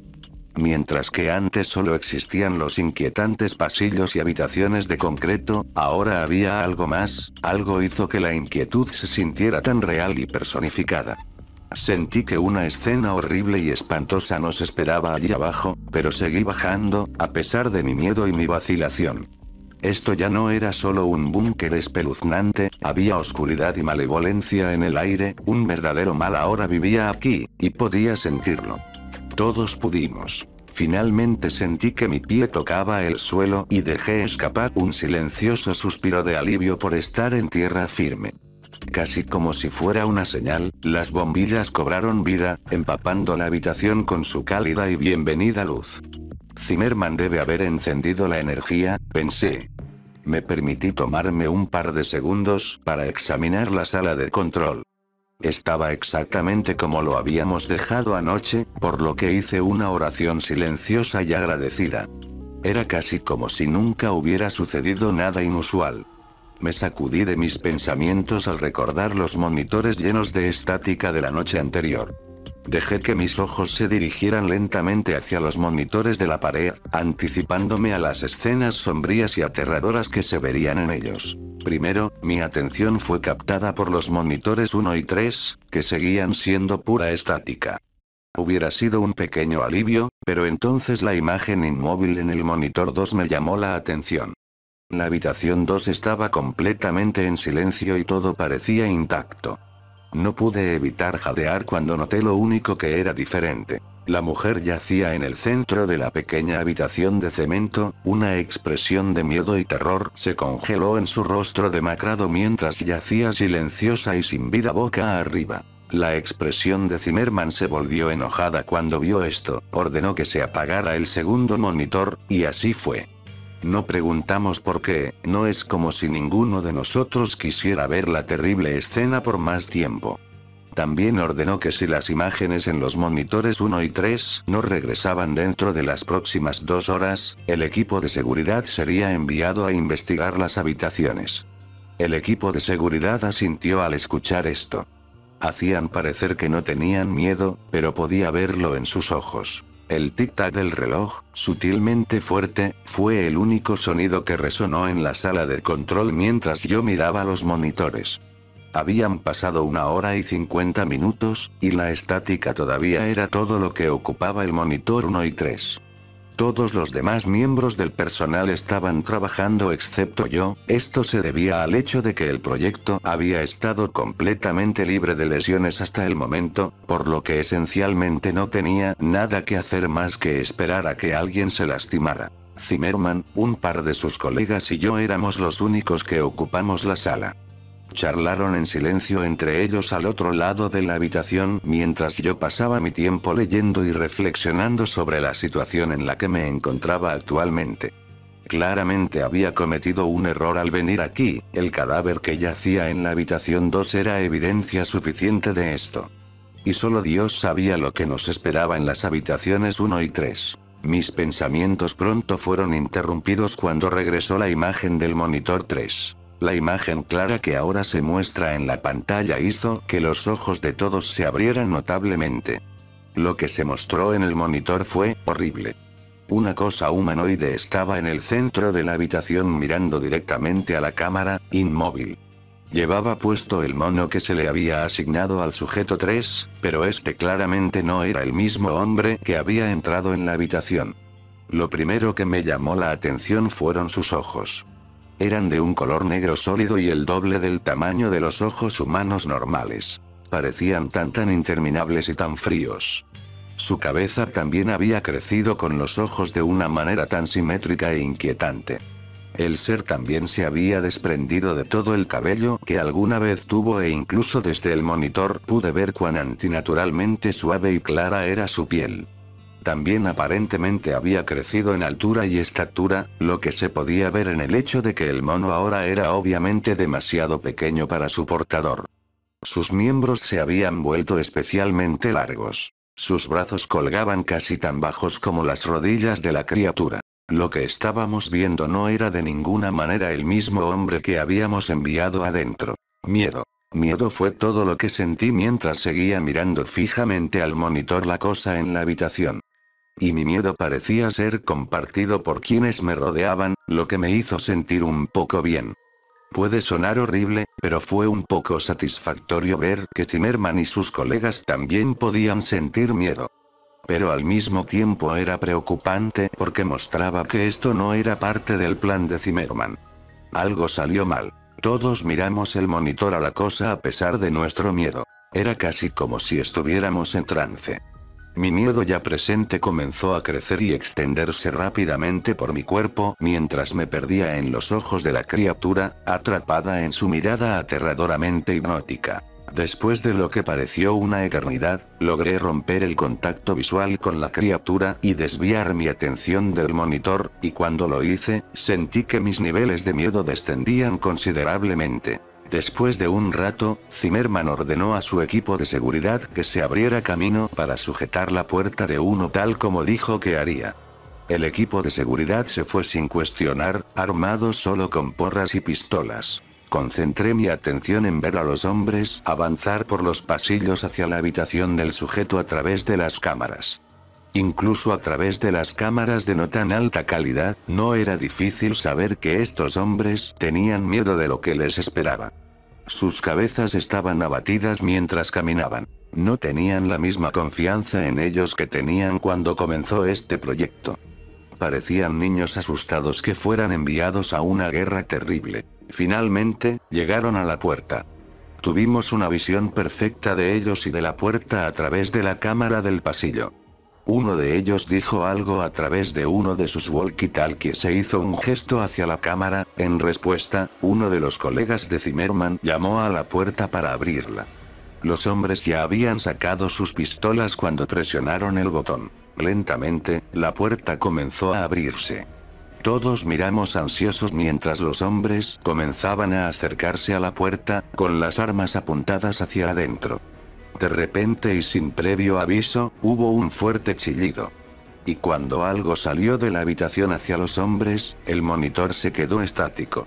Inmediatamente, pudimos escuchar gritos resonando en los pasillos seguidos poco después por el sonido distintivo de disparos. No pudimos hacer nada más que esperar. Después de un par de minutos, cesaron los gritos y los disparos.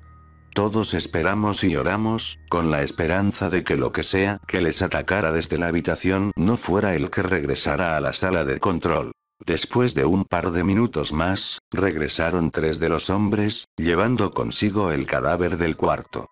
Tenía cortes masivos que cubrían su pecho y su cara estaba destrozada.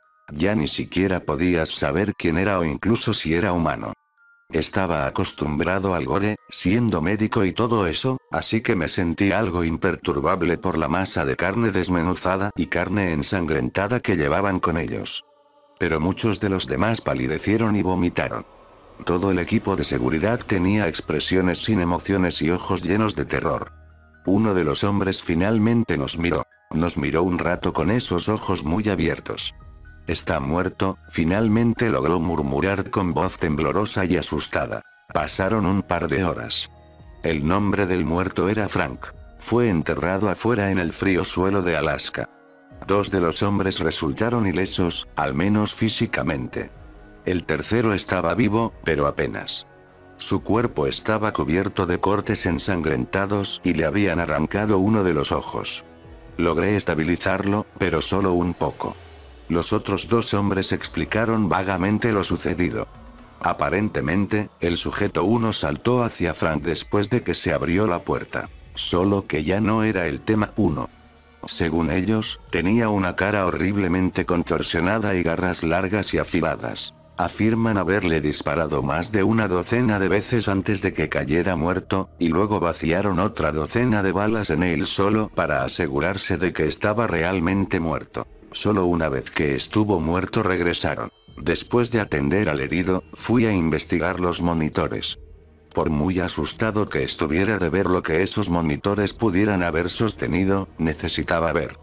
El sujeto 3 era el único que quedaba ahora y necesitaba verlo y asegurarme de que la criatura todavía estuviera en su habitación. Sin embargo, parecía ser más una celda de la cárcel que una habitación normal en este punto, lo que probablemente era algo bueno. Las cámaras que mostraban la habitación del sujeto y el pasillo exterior todavía mostraban una pantalla llena de estática. No se envió a nadie a repararlos ni a investigarlos. Solo teníamos que esperar que el sujeto 1 estuviera realmente muerto. La imagen del monitor 3 era exactamente la misma que la había dejado. El sujeto 3 todavía nos miraba directamente a la cámara. Todavía estaba exactamente en la misma posición y si no fuera por el pequeño ventilador en la esquina de la habitación, pensaría que estaba mirando una imagen fija. En cierto modo, me sentí aliviado al ver esto. Alivio de estar todavía en su habitación y no haber escapado mientras nadie lo miraba. Después de que todo se calmó, noté algo especialmente inusual. Hubo un sonido extraño que emanaba de alguna parte. Al principio, apenas se notaba.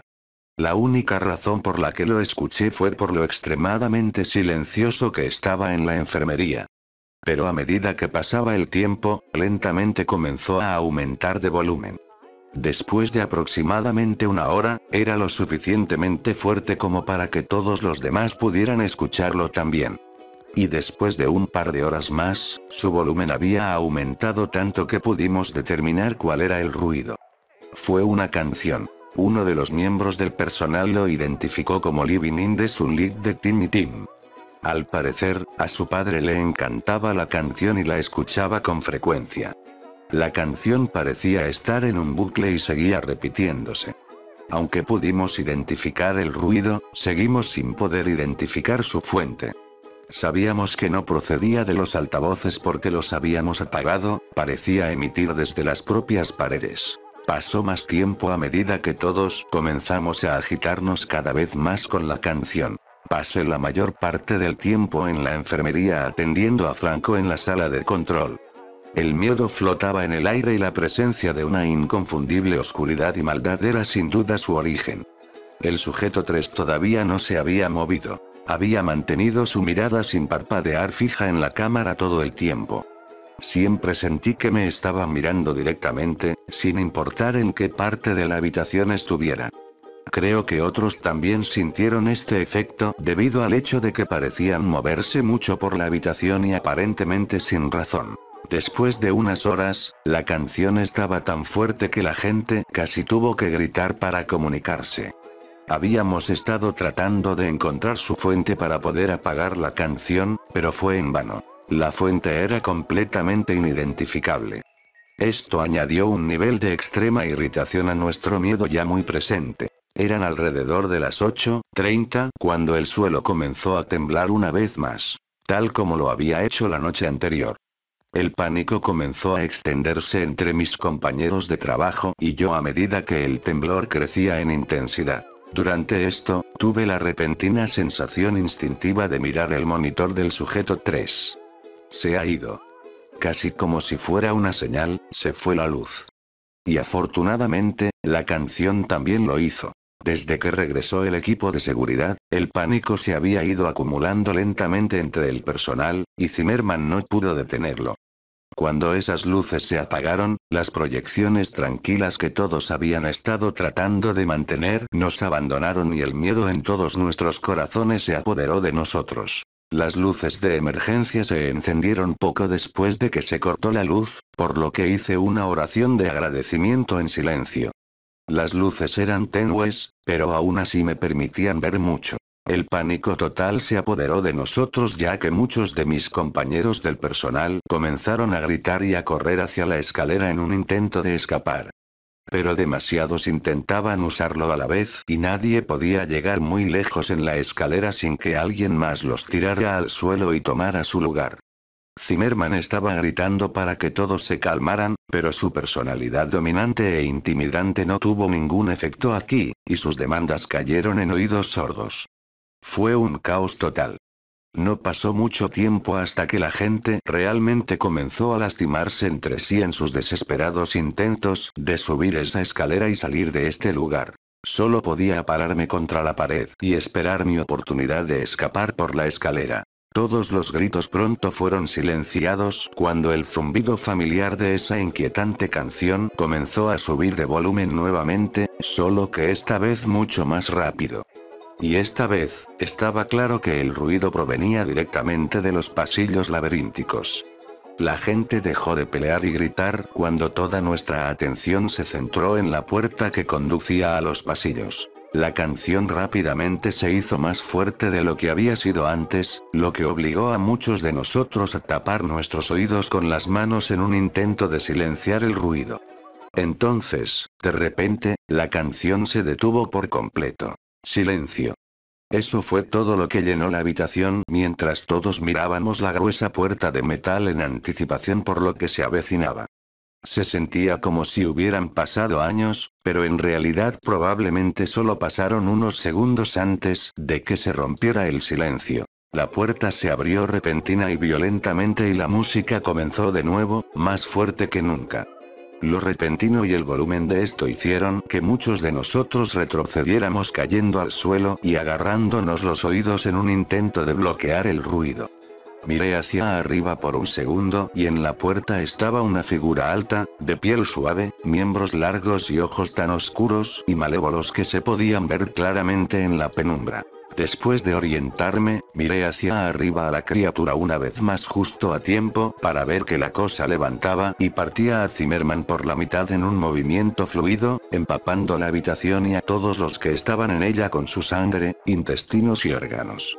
No era ajeno al gore, pero la visión de eso fue demasiado para mí. Me encorvé inmediatamente después de ver esto y vomité por todo el frío piso de cemento. Esa escalera es mi única esperanza de supervivencia, pensé para mí mismo mientras me obligaba a ponerme de pie.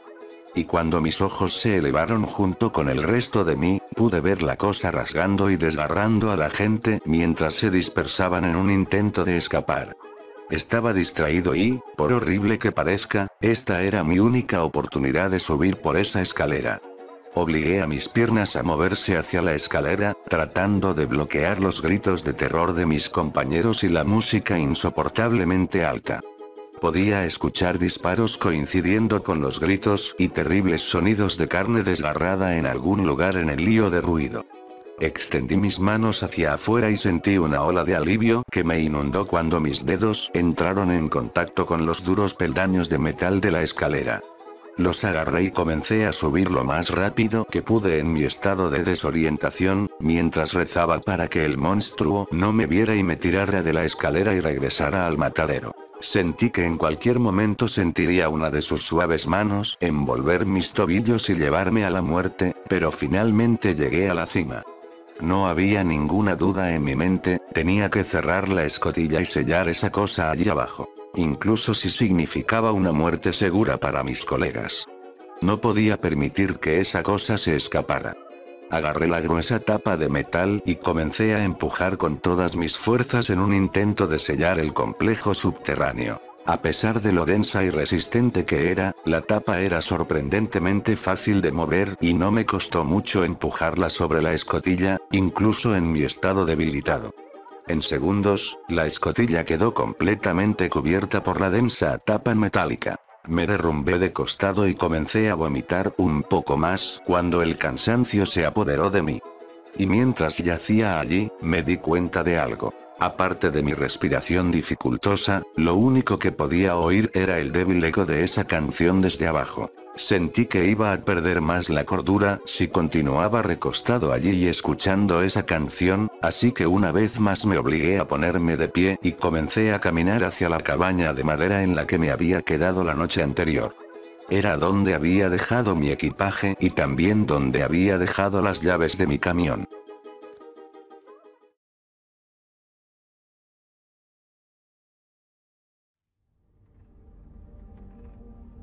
De los 15 miembros del personal que participaron en ese experimento abandonado, soy el único que sobrevivió.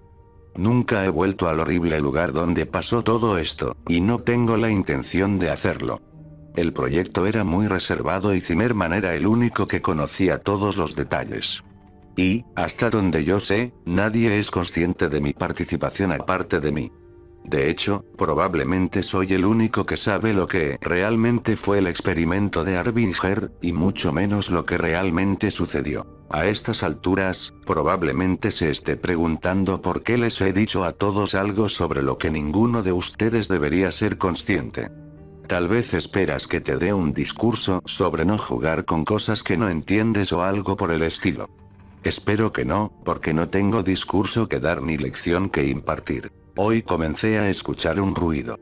Casi de inmediato reconocí el ruido como una canción familiar e inquietante. Ni siquiera intenté rastrearlo hasta su origen. Sabía que sería inútil. Y a medida que avanzaba el día, la canción iba subiendo de volumen.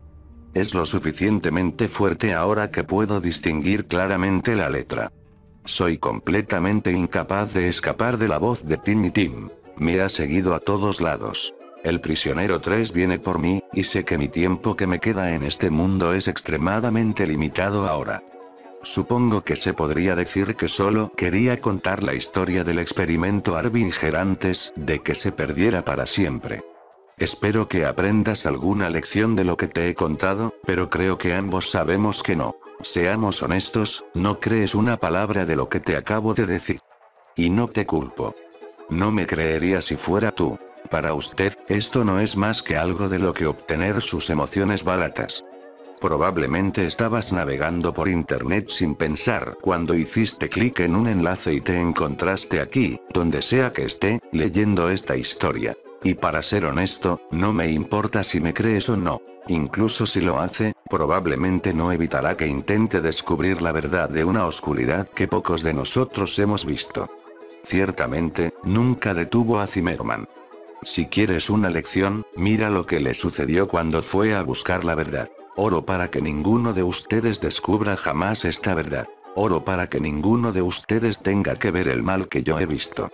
Espero que todos lleguen a vivir en la ignorancia de lo que hay más allá del velo de lo que podemos entender. Está aquí ahora.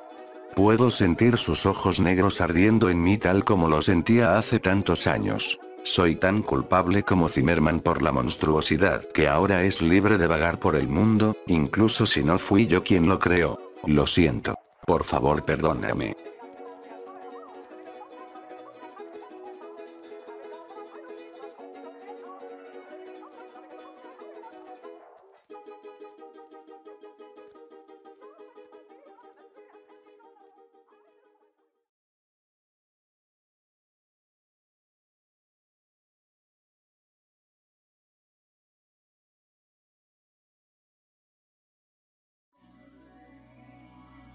Y bueno.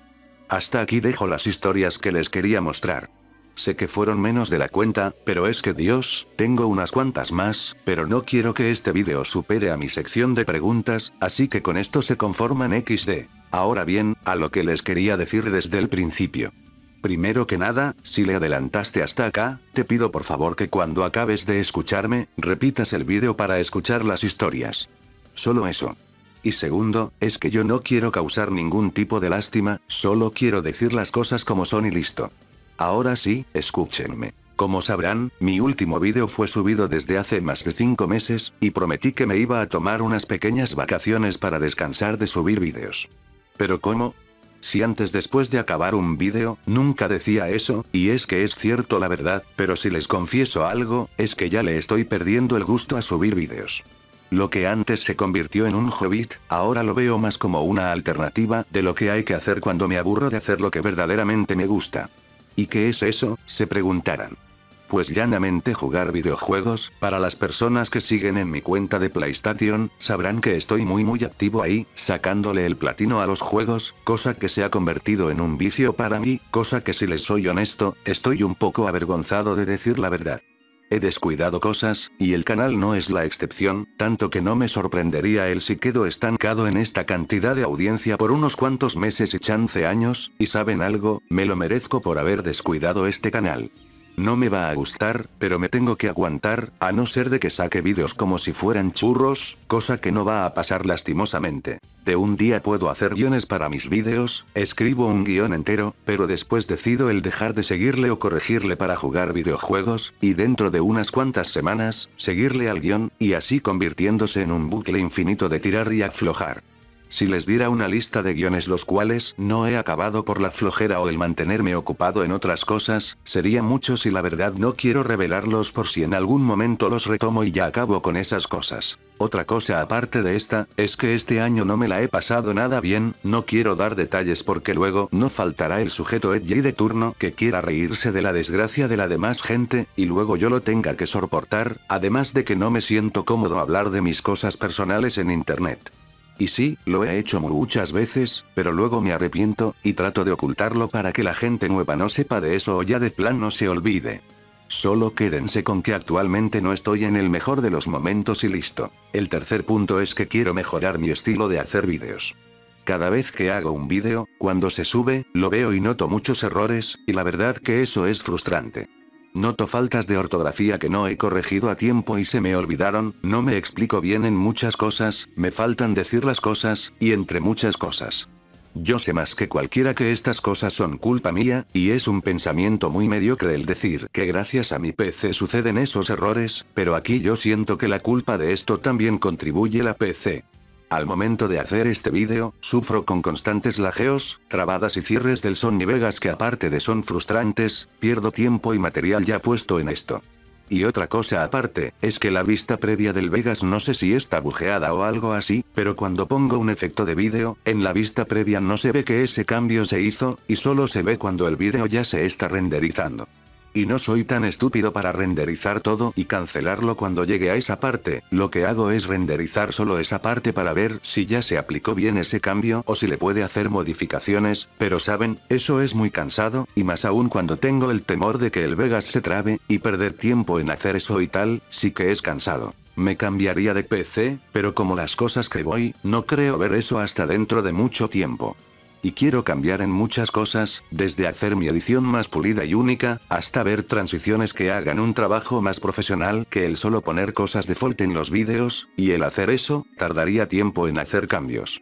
También estoy pensando en dejar a Plague Nint y tener un OG más único, pero sin dejar el concepto del médico de la plaga, porque ese concepto la verdad que me gusta mucho. Y por último, ¿por qué subo vídeos?